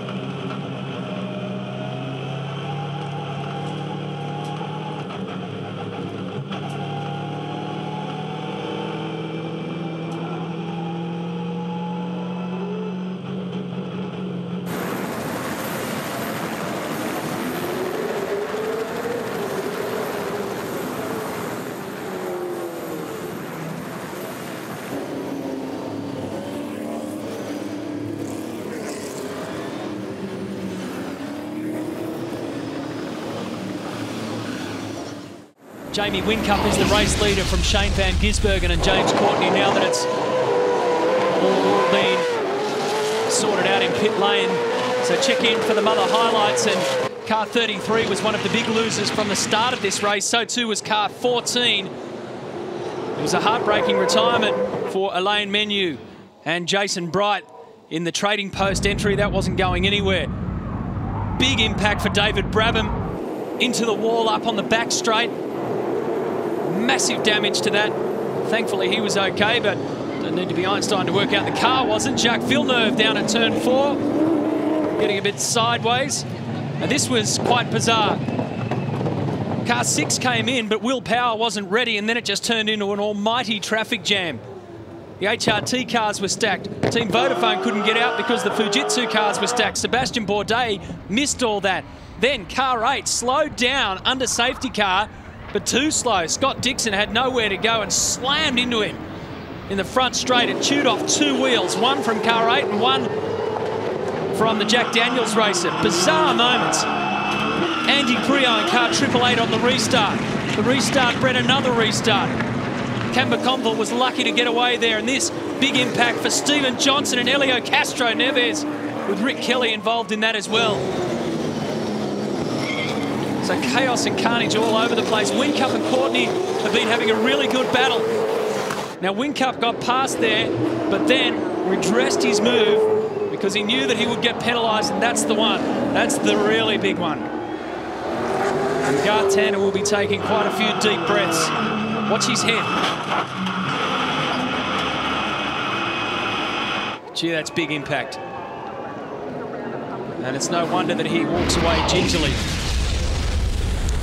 Squeeze all that into a minute, an hour and a half worth of racing. Oh, talk about getting your value for your money around here. And almost 60,000 people again today have witnessed just an extraordinary arm wrestle. Green safety car in pit lane. A total of 170,000 people have come to watch the Armor All Gold Coast 600. So, Whincup is at the front. He didn't have to spend too long in pit lane at his stop. When he rejoined, it puts him out ahead of Shane Van Gisbergen. James Courtney is in third. Paul Dumbrell's fourth. Then Rick Kelly, Mark Winterbottom, Tony D'Alberto into the 10. Russell Ingall's there. Down to turn four. Will Davison and Ingall. And Will might get the job done there to go up into eighth spot. That's not over. That one there might continue. And Will does get just down the inside of Russell Ingall. Great shot on the streets of the Gold Coast. This is the northern end, as we've said before. And Jamie Whincup trying to make some ground on the championship leader in third position. So leading this race from Van Gisbergen, that's Courtney, Paul Dumbrell, Rick Kelly, Mark Winterbottom, Tony D'Alberto, Will Davison, Russell Ingall and Craig Lowndes to the top 10 after restart six of 102 laps. There's Craig Lowndes, Dean Fiore right behind him and Greg Murphy with a good solid run in 12th. A lot of damage to the back of that car we saw earlier. This is the restart with, oh, contact there. That's, I think that was Mark Winterbottom into the back of Rick Kelly. Yep. And this is a real speed race now where these are the three fastest guys through the day, excluding Mark Winterbottom. And they're going to have to turn some laps on to sneak away from the rest. This is starting to get to the business end of this race. 40 laps to go. They will want to go and do a really good job. Centaur Racing, worth making a note of here, into the top 10. Car 3 started in 18th and D'Alberto now finds himself in 7th. So Dumbrell, good fight back. Rick Kelly was involved in all that drama there before with Steve Johnson and got a little bit of damage front and rear, but he looks all right. See the car, bit of tape on the left-hand front corner. And Winterbottom, as I said, was it's been very quick all weekend, and he's a guy just to keep an eye on. Shane Van Gisbergen.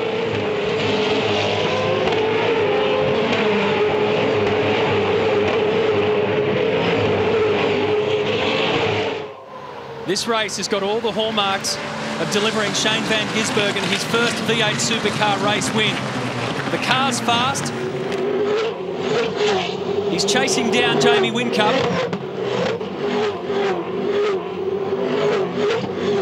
He's going to get a lot of pressure from James Courtney, so he's going to get a hurry along from in front and behind, and you can be dead set certain that he's going to give it everything he's got. He will throw it all at a race win.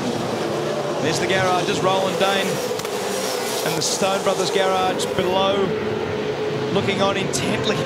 This is a very serious part of this race right now. As I said, they want to go and do a really good job in terms of speed and good solid laps. They're pulling away from Paul Dumbrell.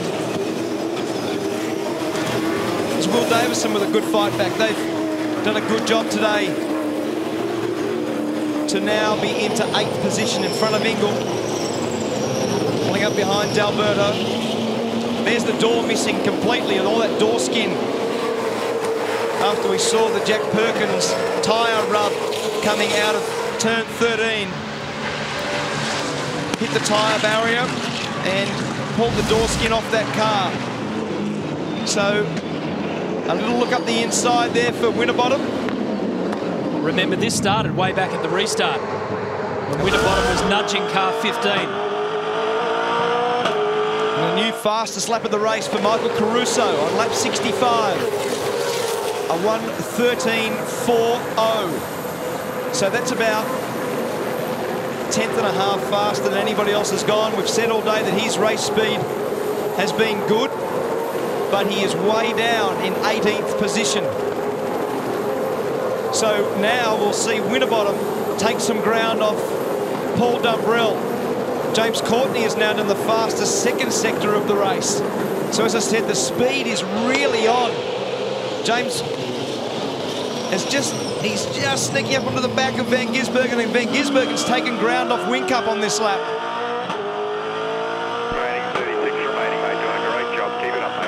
Jamie Whincup's 101 points behind James Courtney on the championship ladder.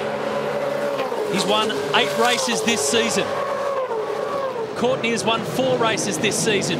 Van Gisbergen's never won a V8 race in his young but so far spectacular career, the youngest full-time driver in the series, 21 years of age. And Van Gisbergen's looking speedy. Gee, Garth Tander, it's been a tough day out there. Firstly, you okay? Yeah, mate, I'm fine. Um, it was a reasonable hit, but um, yeah, I'm, I'm, okay. So uh, it's a shame for the guys. They didn't deserve that. They've been working their backsides off after Bathurst, and um, we had a good result yesterday, obviously, and my mistake today. Just went in too hot on cold tyres and couldn't turn the car. Just trying to get around a couple of guys that were coming out of pit lane and and just couldn't stop it in time and into the wall. So, um, you know, car's pretty hurt. So the guys are going to have to work hard again before Symmons Plains, which is disappointing. But, um, you know, we'll go there and bounce back. Rest up, GT. Thanks, mate. Thanks, Mark. Cheers. There's the replay of Garth Tander and Garth being very honest with his appraisal of what had happened there. It's obviously a disappointing result for him after a great win yesterday and the damage with Fabian Coulthard's car and Will Davison's car from Bathurst. A lot of damaged cars in that garage now.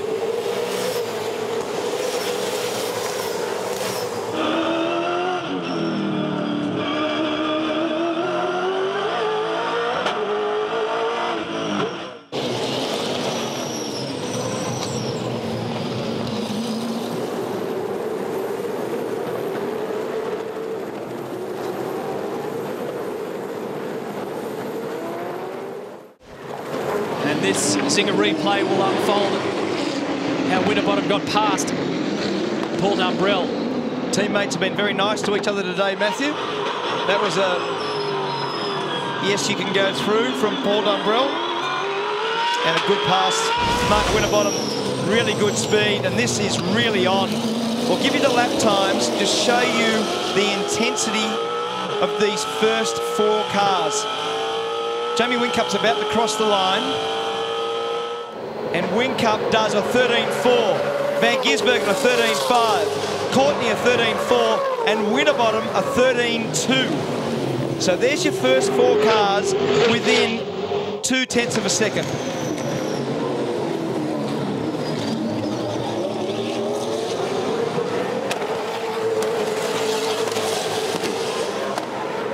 Isn't it amazing?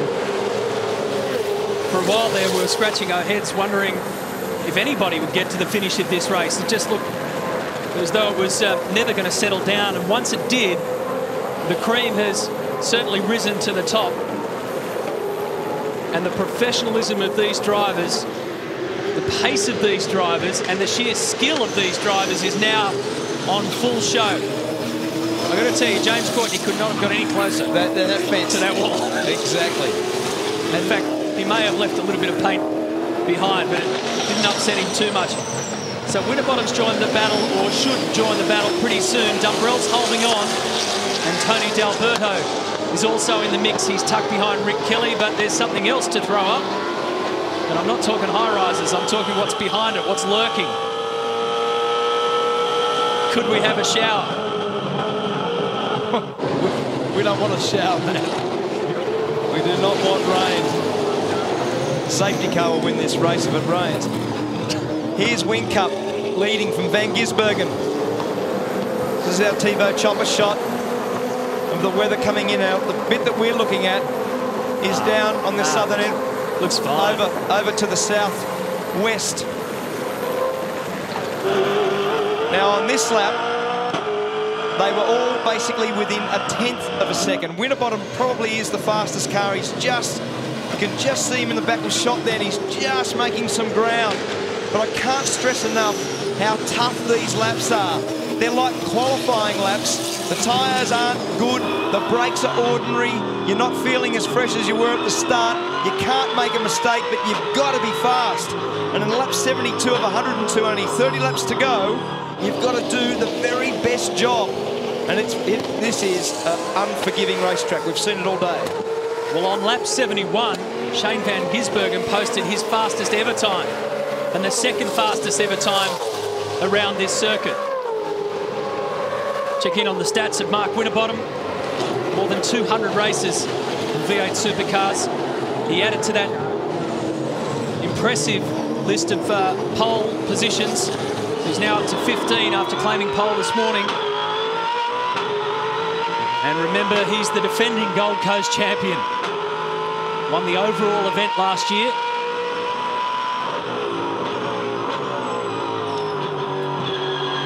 Hey guys, I just want to show you a little bit about how a guy like Garth Tander gets away with a shunt like that. When it's predominantly frontal, what happens, you see these guys have got a thing called a HANS device. This is this device here, and what it does, look, it tethers to the helmet, okay? So when you put this over your shoulders, your seatbelts come over the top. So in a frontal, you can see there's some head movement, but a great safety device, a great saver. Yeah, really, that, that has been a remarkable uh, development over a long period of time. In the last three or four years, it's been compulsory for us to use it. It was originally made for American racing, and in touring cars, we were one of the first categories. The German Touring Car Championship, the DTM, had it first, and we then started using it here, as I said, as a compulsory item. And it basically, as Mark explained, those tethers restrict the helmet from going too far forward, and the head and neck injuries in some of those incidents, like we saw with Garth Tander, have been dramatically reduced. So here we go. So there's Whincup, there's Van Gisbergen, and Courtney, Winterbottom, Dumbrell, Rick Kelly, right behind him, D'Alberto doing a really good job. Will Davison, Russell Ingall, Craig Lowndes. Right behind there is Lee Holdsworth, then Greg Murphy, then Jonathan Webb, then Steve Richards. Fabian Coulthard, Michael Caruso, Dean Fiore, Dale Wood, that's the Slade car going through there, but that's not for position. And then Jason Bargwanna. There's Tony Ricciardello. And on board at the moment, that is Dale Wood in car 16. So back to the front, we see this intense battle, and I'll just do the times for you again because I, I can't reiterate how important this is, how close this battle is. 13-3-7 for Whincup, 13-3-7 for Van Gisbergen, 13-6-4 for Courtney, 13-4-5 for Winterbottom. There is nothing in this race. The speed is incredible. Less than three one hundredths of a second separated Jamie Whincup and Van Gisbergen on that last lap. And this is their 75th lap of the day. It's been a long day, a long weekend for them. It says a lot for the teamwork as well, because almost every single car up and down pit lane has, has had some sort of damage done to it. So they've pieced them together, they've made them go the distance. And now the drivers are being taken to their limits as well. Tony D'Alberto, Tiago Monteiro did a great job earlier. They had to weave their way through the field. They've made up 11 positions.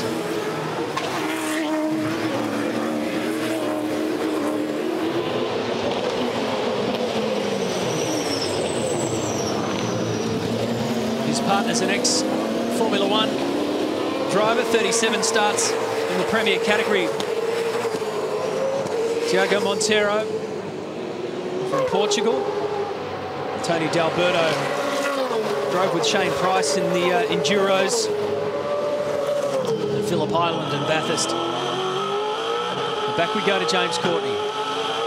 So on board, let's have a little look how hard these guys work and as intense as this battle is for the lead of this race and for the championship. We're on board now with the series leader. Just have a look at how hard they work around the streets of the Gold Coast.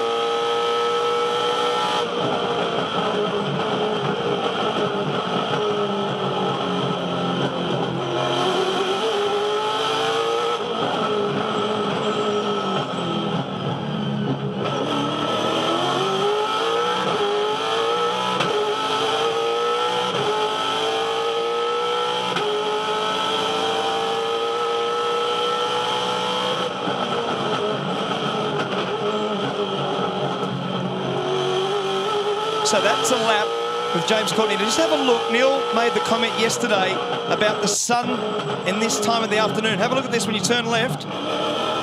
Can't, you can't see a thing. So as the screen gets worse and the afternoon sun comes in on the streets there, when you turn left, you actually lose the wall. You can't see the wall momentarily.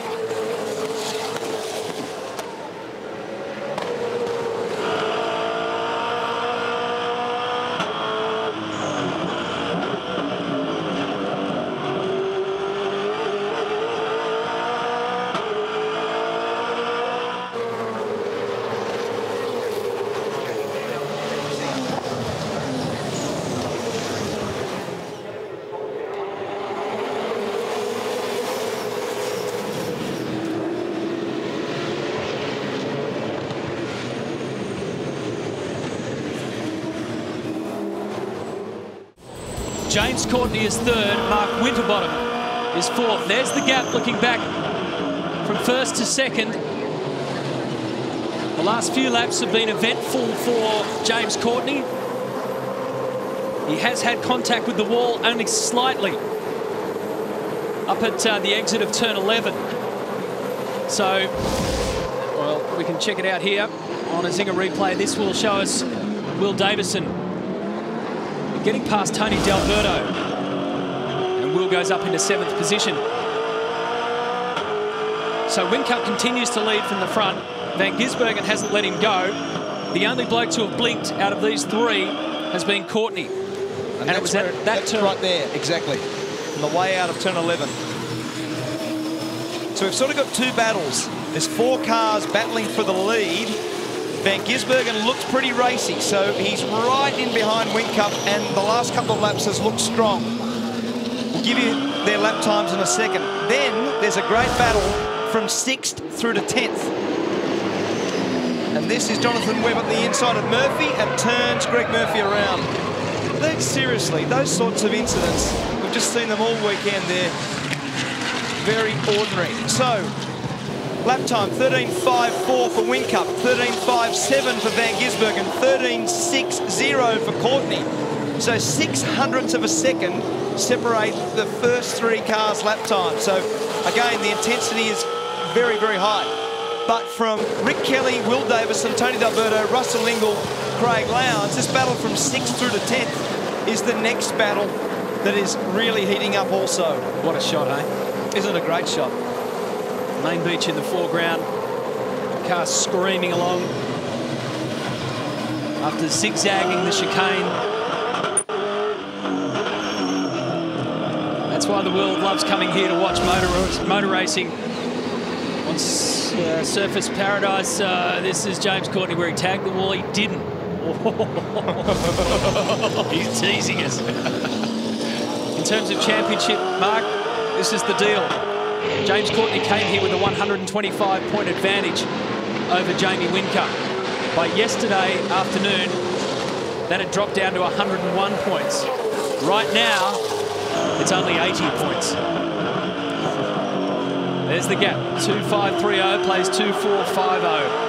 In current championship points, that includes their standings in this race. So if it finished right now, Jamie Whincup is pulling himself closer and closer towards James Courtney in the fight for the 2010 series title. And there's 900 points remaining. So lots of racing, lots of drama to play out, especially as we get down to our Sydney event on the streets of, of Sydney Olympic Park. So the little battle that we were talking about before was just there. It's raging with Kelly Davison, D'Alberto, Ingall and Lowndes. And this is on board now with James Courtney right up behind Van Gisbergen. Isn't that extraordinary? This afternoon sun, and you spoke about it before, it's a pure blind spot. Blinds you, absolutely. I mean, it's hard enough to see out of the cockpit of these cars anyway. There's only the tiniest window to look out through with the roll cage through there. And look, sweat in his eyes. I mean, it couldn't get any more uncomfortable or harder. And then you throw in blinding sun as well. It's for all of these drivers at this stage. They're super fit, but they've been pushed to the limit here. It doesn't get any harder than this one. And Courtney's just turned up the heat. 13.5 second. Oh. Car 19, a driving infringement. That was for the contact with Greg Murphy, so that'll be a pit lane penalty. So on the last lap, Whincup and Van Gisbergen was a 13.54 and a 13.57, but a 13.38 for Courtney, so he took some ground off them. There's Mark Winterbottom. He was slightly slower and he hasn't made any more ground. So again, that's out of the front of Whincup spot. That's that blinding light out of turn 11. This is 11, 12, 13 now. That's the big incident that we saw Helio and Steve Johnson caught up in a little while ago. And look at these numbers, 0.064. There's nothing in these lap times between these guys. Great driving, mate. Keep it up. And when you see the view out of the windscreen there, it's probably not a bad idea to be stuck behind somebody in this little race with 19, 18 laps to go. Because Shane Van Gisbergen, around that part of the circuit, would simply be following Jamie Whincup. And Whincup is a pioneer through there, but he's a proven front runner. You don't win the amount of races and championships that he's won without being able to win them from any position. And especially here, remember 2008, he started the weekend with pole, then he blew the rest of the field away. With three races that weekend, he led from wire to wire. So he knows this circuit. He knows the afternoon sun. He's been in this situation before. And he's had maximum pressure put on him. He's a very, very good leader, Matt. I mean, if you go through all of the abilities and all of the things that you look at in terms of driver credentials, he's basically done it all. He's a great qualifier, he's a great starter. But one of his real, look at that, how close is that, Van Gisbergen, right behind Whincup at the final corner. But one of the great things he does is he leads very well. And it's hard to lead these sorts of races. As you said, you're the pioneer, and you're basically guiding the speed of this race. What he's doing at the moment are flat out laps and the other guys are going with him. And sometimes that can be a bit soul destroying because when you're trying so hard and you're putting the absolute maximum effort in and taking very big risks on every lap, basically every corner, and you're not getting away from the bloke behind, it's easy to make a mistake under that scenario. So he's a very, very good leader, and Van Gisbergen is working him hard. Well, last time around, there was a two-tenths of a second difference. Whincup was two-tenths of a second slower than Van Gisbergen and Courtney. And Van Gisbergen knows it. He can sense it. If he's going to make a move, he's going to have to do it soon. And the difference is, we know how close again was Courtney to that fence. He keeps doing it to us. And look how intense Ross Stone is in the foreground, looking on. He's making comments to the rest of the engineers. What we've got are two blokes, Jamie Whincup and James Courtney, who care about the championship like you can't believe. But one bloke in the middle of this battle is only thinking about today. He's not in the championship battle. He wants to win this race. He wants to win. Hit some traffic soon. There's a couple of cars, but they're a few laps away yet, mate. He wants to win his first ever race. And again, Whincup is the slowest of the three. So he's gone 114.04. Van Gisbergen 113.96. Courtney 113.91. And the tyre, look, he's giving him a nudge. Him. He's giving him a nudge. The intentions couldn't be clearer from Van Gisbergen. Whincup takes a look down. Adjusting the bars. So Jamie Whincup is going in search of more stability in this car. The speed's gone away from him just a touch. In fact, the speed of the group has gone away because they were doing low 13s. They're now in high 13s, early 14s. So as they work these tyres and brakes very hard, they go away, they degrade.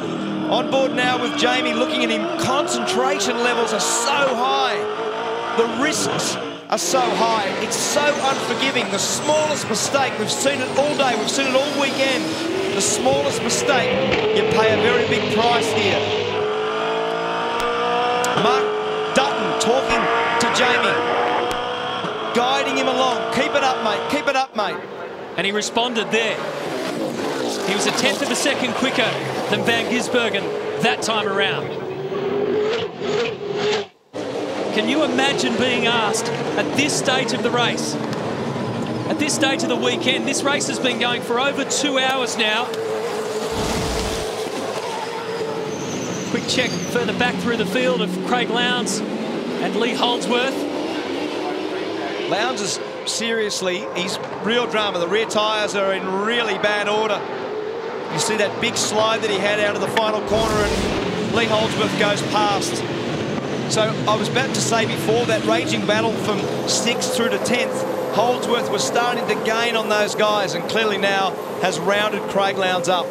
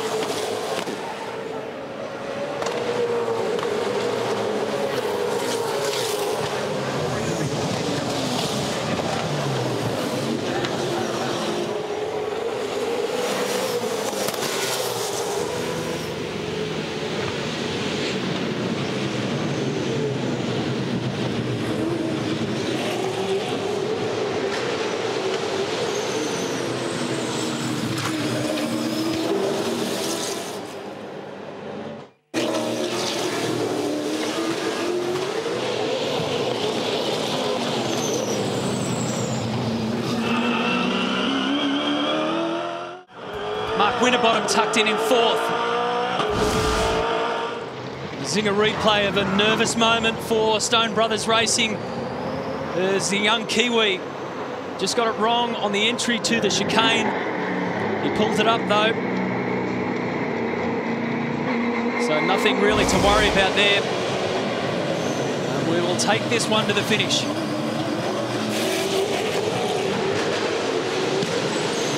This is a really good battle.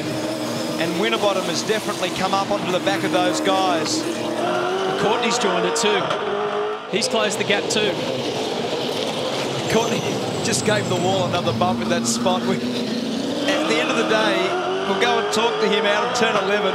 Yeah, mate, 11 to go. Great driving. We're almost at the run home, buddy. It's Mark Dutton just encouraging Jamie Whincup, but this is the spot we're talking about. That's Steve. Actually, it's uh, Steve Richards. Steve Richards knocking the mirror and stuff off. That's pretty heavy contact, but James has just been bumping it gently. We just can't take your eyes off this. Look at Mark Winterbottom. He's really joining this battle. So there's 11 laps to go here. And Winterbottom is the master at uh, pulling the rabbit out of the hat late. And if he can just sneak up a little bit closer to James Courtney, it'll put him in this picture as well. And those little green boxes on the bottom of our screen tell the story of why. He's been faster than car 18 four out of the last five times around. And I can't stress enough, I keep saying it, please bear with me, but this is, this has been a war around these streets over the weekend. The level of damage I have not seen ever, and the sort of extreme stuff that's gone on. But at the end of the day, four of the very best drivers in the field in four different teams are absolutely Yo, 10 to go, battling coming up lap traffic, for the win. 19 west, coming up lap traffic, car 19 west. That's the other thing into the mix. There's lap traffic here. So they have to deal with just something else. Those statistics of Jamie Whincup are just simply extraordinary. 41 wins out of 200 starts. His strike rate's just been so impressive, especially over the last two years. Shane Van Gisbergen, just 21 years of age, 99 races. The one thing missing so far from his CV is a race win. So that's what's at stake. This will be very good for him, Matt. I mean, this is a very high-level performance from him today. This is one of his best drives. McIntyre drove well early. He's driven really well in this race, and you can't. This can't be any higher level than this around the streets. With there, you, there you go. There was Courtney giving that fence a bump again. It's like a guide. But he's driven very well, and I think Courtney's actually in a little bit of trouble now because Winterbottom's come right up to him. Winterbottom's well and truly caught him. He's he's not the Lone Ranger down at turn 11 whacking that wall. And he's got so used to it now, like you say, he's using it as a touch guide. Tapping Big wheel spin. So this is the view from the front of the FPR car, now the view from the rear of car 18. That shows you how close they are. Meanwhile, out in front, it's only two tenths of a second difference between Whincup and Van Gisbergen. And this battle here will help these two because Winterbottom should get past Courtney here and does so. There's no point James Courtney getting involved in any tangle there and losing a bucket load of points, a lot of points. Right now, he's just waiting for the finish. He wants to get there comfortably. It's going to put another little dent in his championship lead. But if you start making contact at this stage of the race, the championship lead could evaporate altogether. And what it's done, it's left just over that last lap, it's left Whincup and Van Gisbergen to go hard at it together. So Van Gisbergen doesn't have any stress at the moment from Courtney. Just have a look at this pass. The Zinger replay picks up on Mark Winterbottom straight down the inside. And James Courtney, really, I mean, the maturity, I've said it a lot of times this year, that the maturity that James is showing this season is championship winning. Go, mate. Eight, eight to go. Get the third split straight. Right, mate. Great driving. It's Mark Dutton again encouraging Jamie to get to the end of this race. These are important races in the championship contention. Well, sorry, Matty, I just had a little wheel lock then because there was. I looked in the background and I thought that James Courtney had a drama, but he didn't. But he clearly, for speed now, Van Gisbergen again tapping the back of Whincup's car. So Winterbottom gaining and Courtney, he's out of it. That little move from Mark Winterbottom on Courtney has cost James Courtney another nine points in his championship battle. So the gap now is 71 points between Courtney and Whincup. But the battle for Whincup is not with Courtney right now, it's with this young Kiwi who will not let go like a dog with a bone on the back of car one. This is going to go right down to the wire. Can you believe it? 600 kilometres of racing across this weekend. Hundreds of thousands of dollars of damage. Panels everywhere. The internationals have had a crack. And at the end of the day, we have the defending series champion fighting off the youngest full-time driver. And a split hair between them. Van Gisbergen, he can taste his first V8 supercar win. Whincup will certainly not give it to him on a plate. Oh, here we go. Down to turn four. Does he get him here? He's going to slide into it side by side. And they're going to drag race it up there. They continue the argument. But he didn't need to do that, Matt. He didn't need to make Yeah, contact mate, settle late. back into it, get back into rhythm, you'll get him again, we've got time. Just keep cool, buddy. Van Gisbergen gets counselling. I think it's made. I think it's hurt the right-hand front. Well, it's brought Winterbottom into the argument as well. But he didn't need to do the last bit. It was a great dive. Jamie gave him some room. They both got round there with minor contact. They both slid the car out of the corner, and then they were going to vie for position at turn five. But let's look at this. Great move. Both sideways. In they go. Little rub. Now, this bit's totally fine. They come out of there together, but the next bit, that bit there, you don't have to do. So that little bit of right-hand front and left-hand rear contact has just... Here we go. So, and the guys are encouraging him. The guys from SBR are saying there's the contact. You can see the steering wheel movement there from Whincup. Look at them at Stone Brothers. They thought they had it, thought they had it, almost lost it. And the guys are saying he's got a championship to think about. Let's keep the pressure on him. Let's keep the pressure on him. This is intense motor racing. On lap 97 out of 102. What about car five is the biggest smoky here? He's not out of it, not out of it at all. Mark Winterbottom could well and truly land a race win here if the two cars in front of him come unstuck again. Not only that, Winterbottom's got good pace. This is extraordinary stuff at this stage of a Sunday afternoon. Whincup level-headed. Van Gisbergen trying to get the temperature back down. Trying to find that rhythm again that he had so well. Winterbottom waiting to pounce. And now it's back on. And the Stone Brothers have not won a race since James Courtney in 2008. So that's why they're so keen. In that garage, they are they are doing everything they can possibly do to get young Shane Van Gisbergen encouraged and by Jamie Whincup. This is fantastic stuff. The bloke with the best seat in the house is James Courtney. He's sitting back there saying, these blokes are playing for keeps. Look at this. Gives him another bump.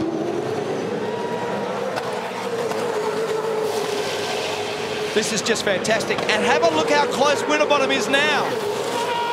Well, that's what Van Gisbergen's got in his mirror. He's got car five climbing all over him. And if I was Jamie Whincup, I'd be saying, go, Mark Winterbottom, go! as much pressure as you can put on Van Gisbergen, it helps me. Go, Frosty.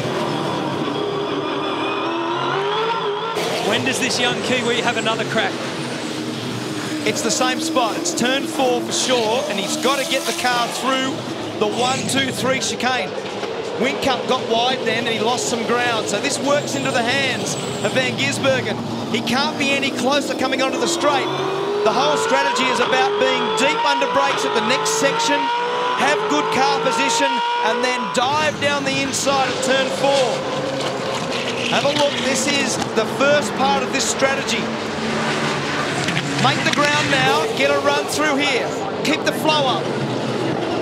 Keep the flow up. That's the spot. Have a look. Oh, my God, he's so close. He's so deep. He went deep into the chicane. He went deep into turn four. And Whincup somehow continues to keep his cool. That may have been Shane Van Gisbergen's best opportunity then. He was right there. And sometimes the go is, Matt, what you do is you feint. So you basically say, no, I won't do that, I won't do that. Then the next time, have a big dive, a big dive, bomb dive. And he's going to have to be bold because you won't get up the inside there and make an effective pass if you don't have that sort of dive.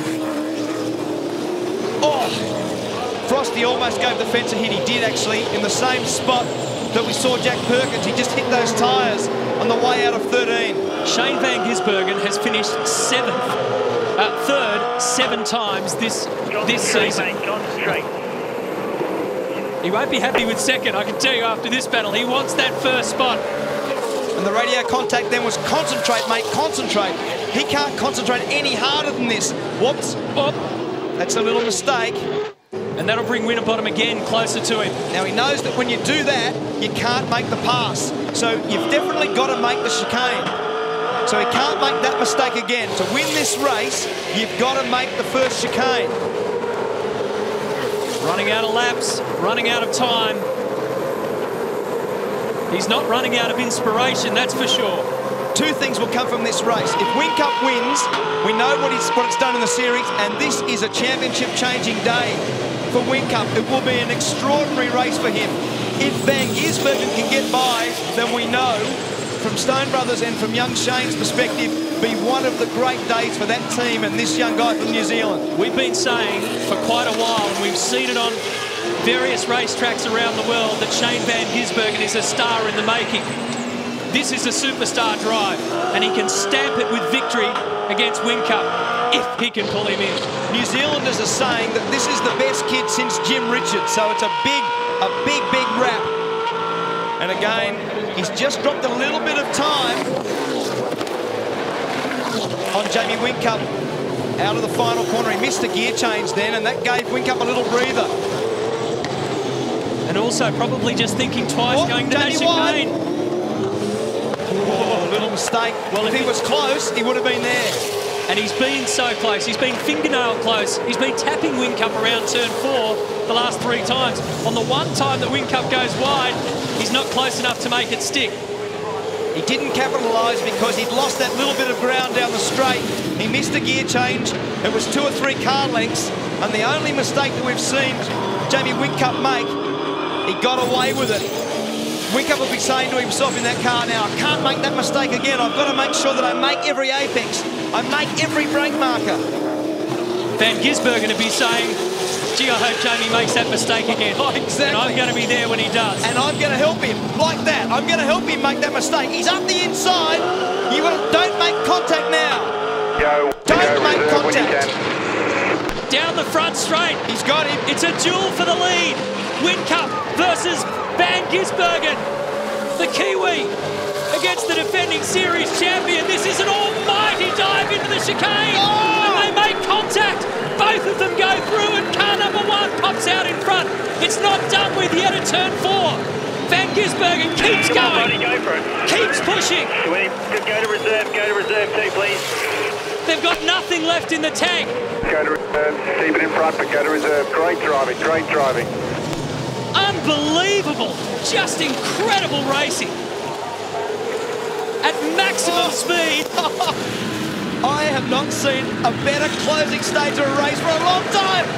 As Van Gisbergen has a little look. The way he's going, it's Van Gisbergen all or nothing. Lap, mate, just in case you went short. This is the last lap. There will be a dive. This really is an all or nothing approach from the young Kiwi. And the only thing he can do is give him a serve. He'll bump him here. He'll bump him, run him wide. He can't do it. Whincup's going to hold on. Whincup has fought off an extraordinary battle and he takes victory in a race to remember. What a race. Great work, boys. Sorry, boys, I just couldn't pull it up there into that chicane, otherwise you would have to give it up. But fantastic race. I'm very proud of you guys. We're finally better than second. Holy smoke. Unbelievable. I reckon I can seriously say I've seen it all now. It was an absolute war for two days on the streets of the Gold Coast, and it comes down to this. A battle like you cannot believe between the young bloke from New Zealand and the series champion. What about round the back? What about around the back straight? While he's trying to put a move, they're side by side rubbing panels. And Shane Van Gisbergen's getting encouragement on the radio. Go, give it to him. Just unbelievable. There might be a little bit of drama still to play out of this, you know, because they both ran through there. And at the time of, the, of that part of the corner, Van Gisbergen was actually in the lead. So as you come through there, both guys are not credited with it. And they run to the next section of road with Jamie in the lead. So there could be a bit of controversy after this. There'll be a bit of drama in the back of pit lane. So Mark Dutton saying, no, that's fine, that's fine. So and also congratulations, of course, go to Steve Owen. Jamie Whincup should be on the line. Jamie, it's Matty White here. Have you got any energy? Have you got anything left to say? Uh, mate, that was pretty loose at the end there, but uh, great battle. I was out of tyres. I ain't got nothing left in the back of this, so uh, yeah, no, awesome, mate. I, we had a shocker yesterday, and to fight back today for the win was huge. Jamie, I got to tell you, that was one of the most extraordinary sporting moments I think we've witnessed in years. For the way that you held off Shane Van Gisbergen was just something to remember. Have you ever found yourself in that kind of battle with that kind of intensity before? Uh, mate, yeah. To be honest, GT did it to me a couple of years ago, but uh, that was certainly intense, you know. So, so happy we we fought hard and to come back. It's championship time, it's on. It certainly is on. Well, you've closed the gap to about 71 points now to uh, James Courtney. Congratulations. Thanks, mate. Thanks, boys.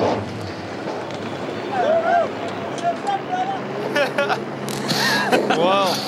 and all you can do really at the end of the day is laugh. I mean, remember, this race is going around the world. Our international viewers, you've just witnessed something very special on the streets of Surfers Paradise. Mate, awesome. That's Aussie racing at its best, and a young Kiwi's played his part in it. Shane Van Gisbergen, there's celebrations all round. Whincup and Owen win race 20 of the championship. So these are the results, provisional, of course. Mark Winterbottom and Luke Youlden started on pole position and they salvage a third after a pretty tough weekend for Ford Performance Racing. Mid-pack, Coulthard and Reynolds, Jonathan Webb and Sebastian Bourdais had their troubles as well. Poor old Helio Castroneves Boy, what a weekend. The Armor All Gold Coast 600 has delivered it all. Beautiful weather, spectacular racing, and what a finish this afternoon. Time for the podium presentations, and making the presentation on behalf of our major sponsor, Armor All, is Paul Blair, the marketing manager. Paul, thanks once again for your great support. And the Honourable Andrew Fraser, the Treasurer of Queensland, to make the presentation on behalf of the Queensland Government, another great supporter. First presentation we have is the Best Placed International Driver Trophy. And congratulations, Team Vodafone and Andy Priaulx.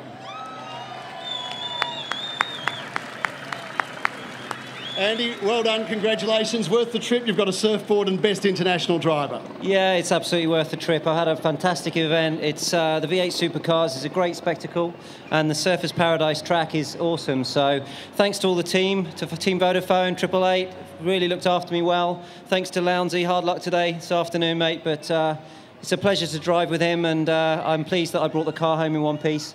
And I hope I get invited back one day in the future. I'm sure you will, Andy. Thank you very much. Congratulations. We'll let you grab your trophy. Third place today for Ford Performance Racing, Mark Winterbottom and Luke Youlden. Frosty, congratulations. That's some fight back from yesterday. Yeah, some fight back from yesterday with a damaged car, and thanks to the guys for fixing it. And some fight back from that pit stop we had. I, I don't know what happened there. So uh, nice to get back on the podium. Um, thanks, guys. We keep fighting, and uh, you know another surfboard. So thank you. And Luke, congratulations again. A great result. Yeah, thank you. I had to redeem myself from obviously the start yesterday, but uh, I'm not sure what happened in the pit stop either. But uh, thanks for the guys. We managed to uh, get across the line. Frosty just drove extremely well there towards the end. Thank well you. done, guys. Congratulations. Our runners up today. Boy, what a finish they put on for SP Tools Racing. Shane Van Gisbergen and John McIntyre. Boys, come on in. Shane, congratulations. That was one of the greatest duels we have ever seen in those final laps. Yeah, I'll tell you what, it was on, and uh, just having the cool suit today was so much better, and my mind was focused at the end. But um, really, yesterday I didn't thank my sponsors enough. So thanks SP Tools, Ford, and all the all the SBR uh, associates, and also the team themselves. It's um, it's been an awesome day today, and um, I couldn't be happier. And now Johnny and I can take mate surfing. John, congratulations. What was it like sitting in the garage for those final few laps? It's pretty nerve, nerve wracking with the excitement machine behind me here, having a big go. But uh, look, again, we've stepped up again. Third yesterday, second today. Uh, we can only go one better next time. So thank you, everyone. Thanks, and uh, all the Ford fans out here. Good to see a Blue Falcon up here. Well done, John. Well done, Shane. Congratulations. Our trophy now, the team's trophy for our highest placed team, and congratulations, the winning team, Team Vodafone. And Roland Dane to accept the trophy. Roland, congratulations. Well done. Another great team effort from Team Vodafone, which brings us to first place for Team Vodafone. Would you please congratulate Jamie Whincup and Steve Owen?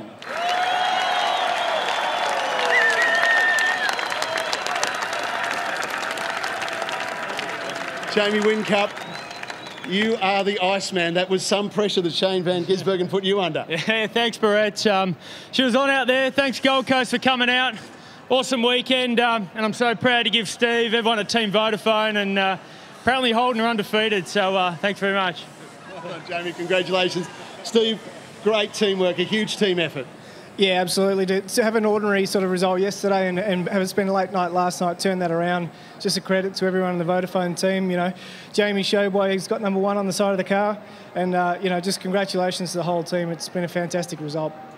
Well done, guys. Let you take your place at the top of the party. Would you please congratulate our winners from the Armor All Gold Coast 600?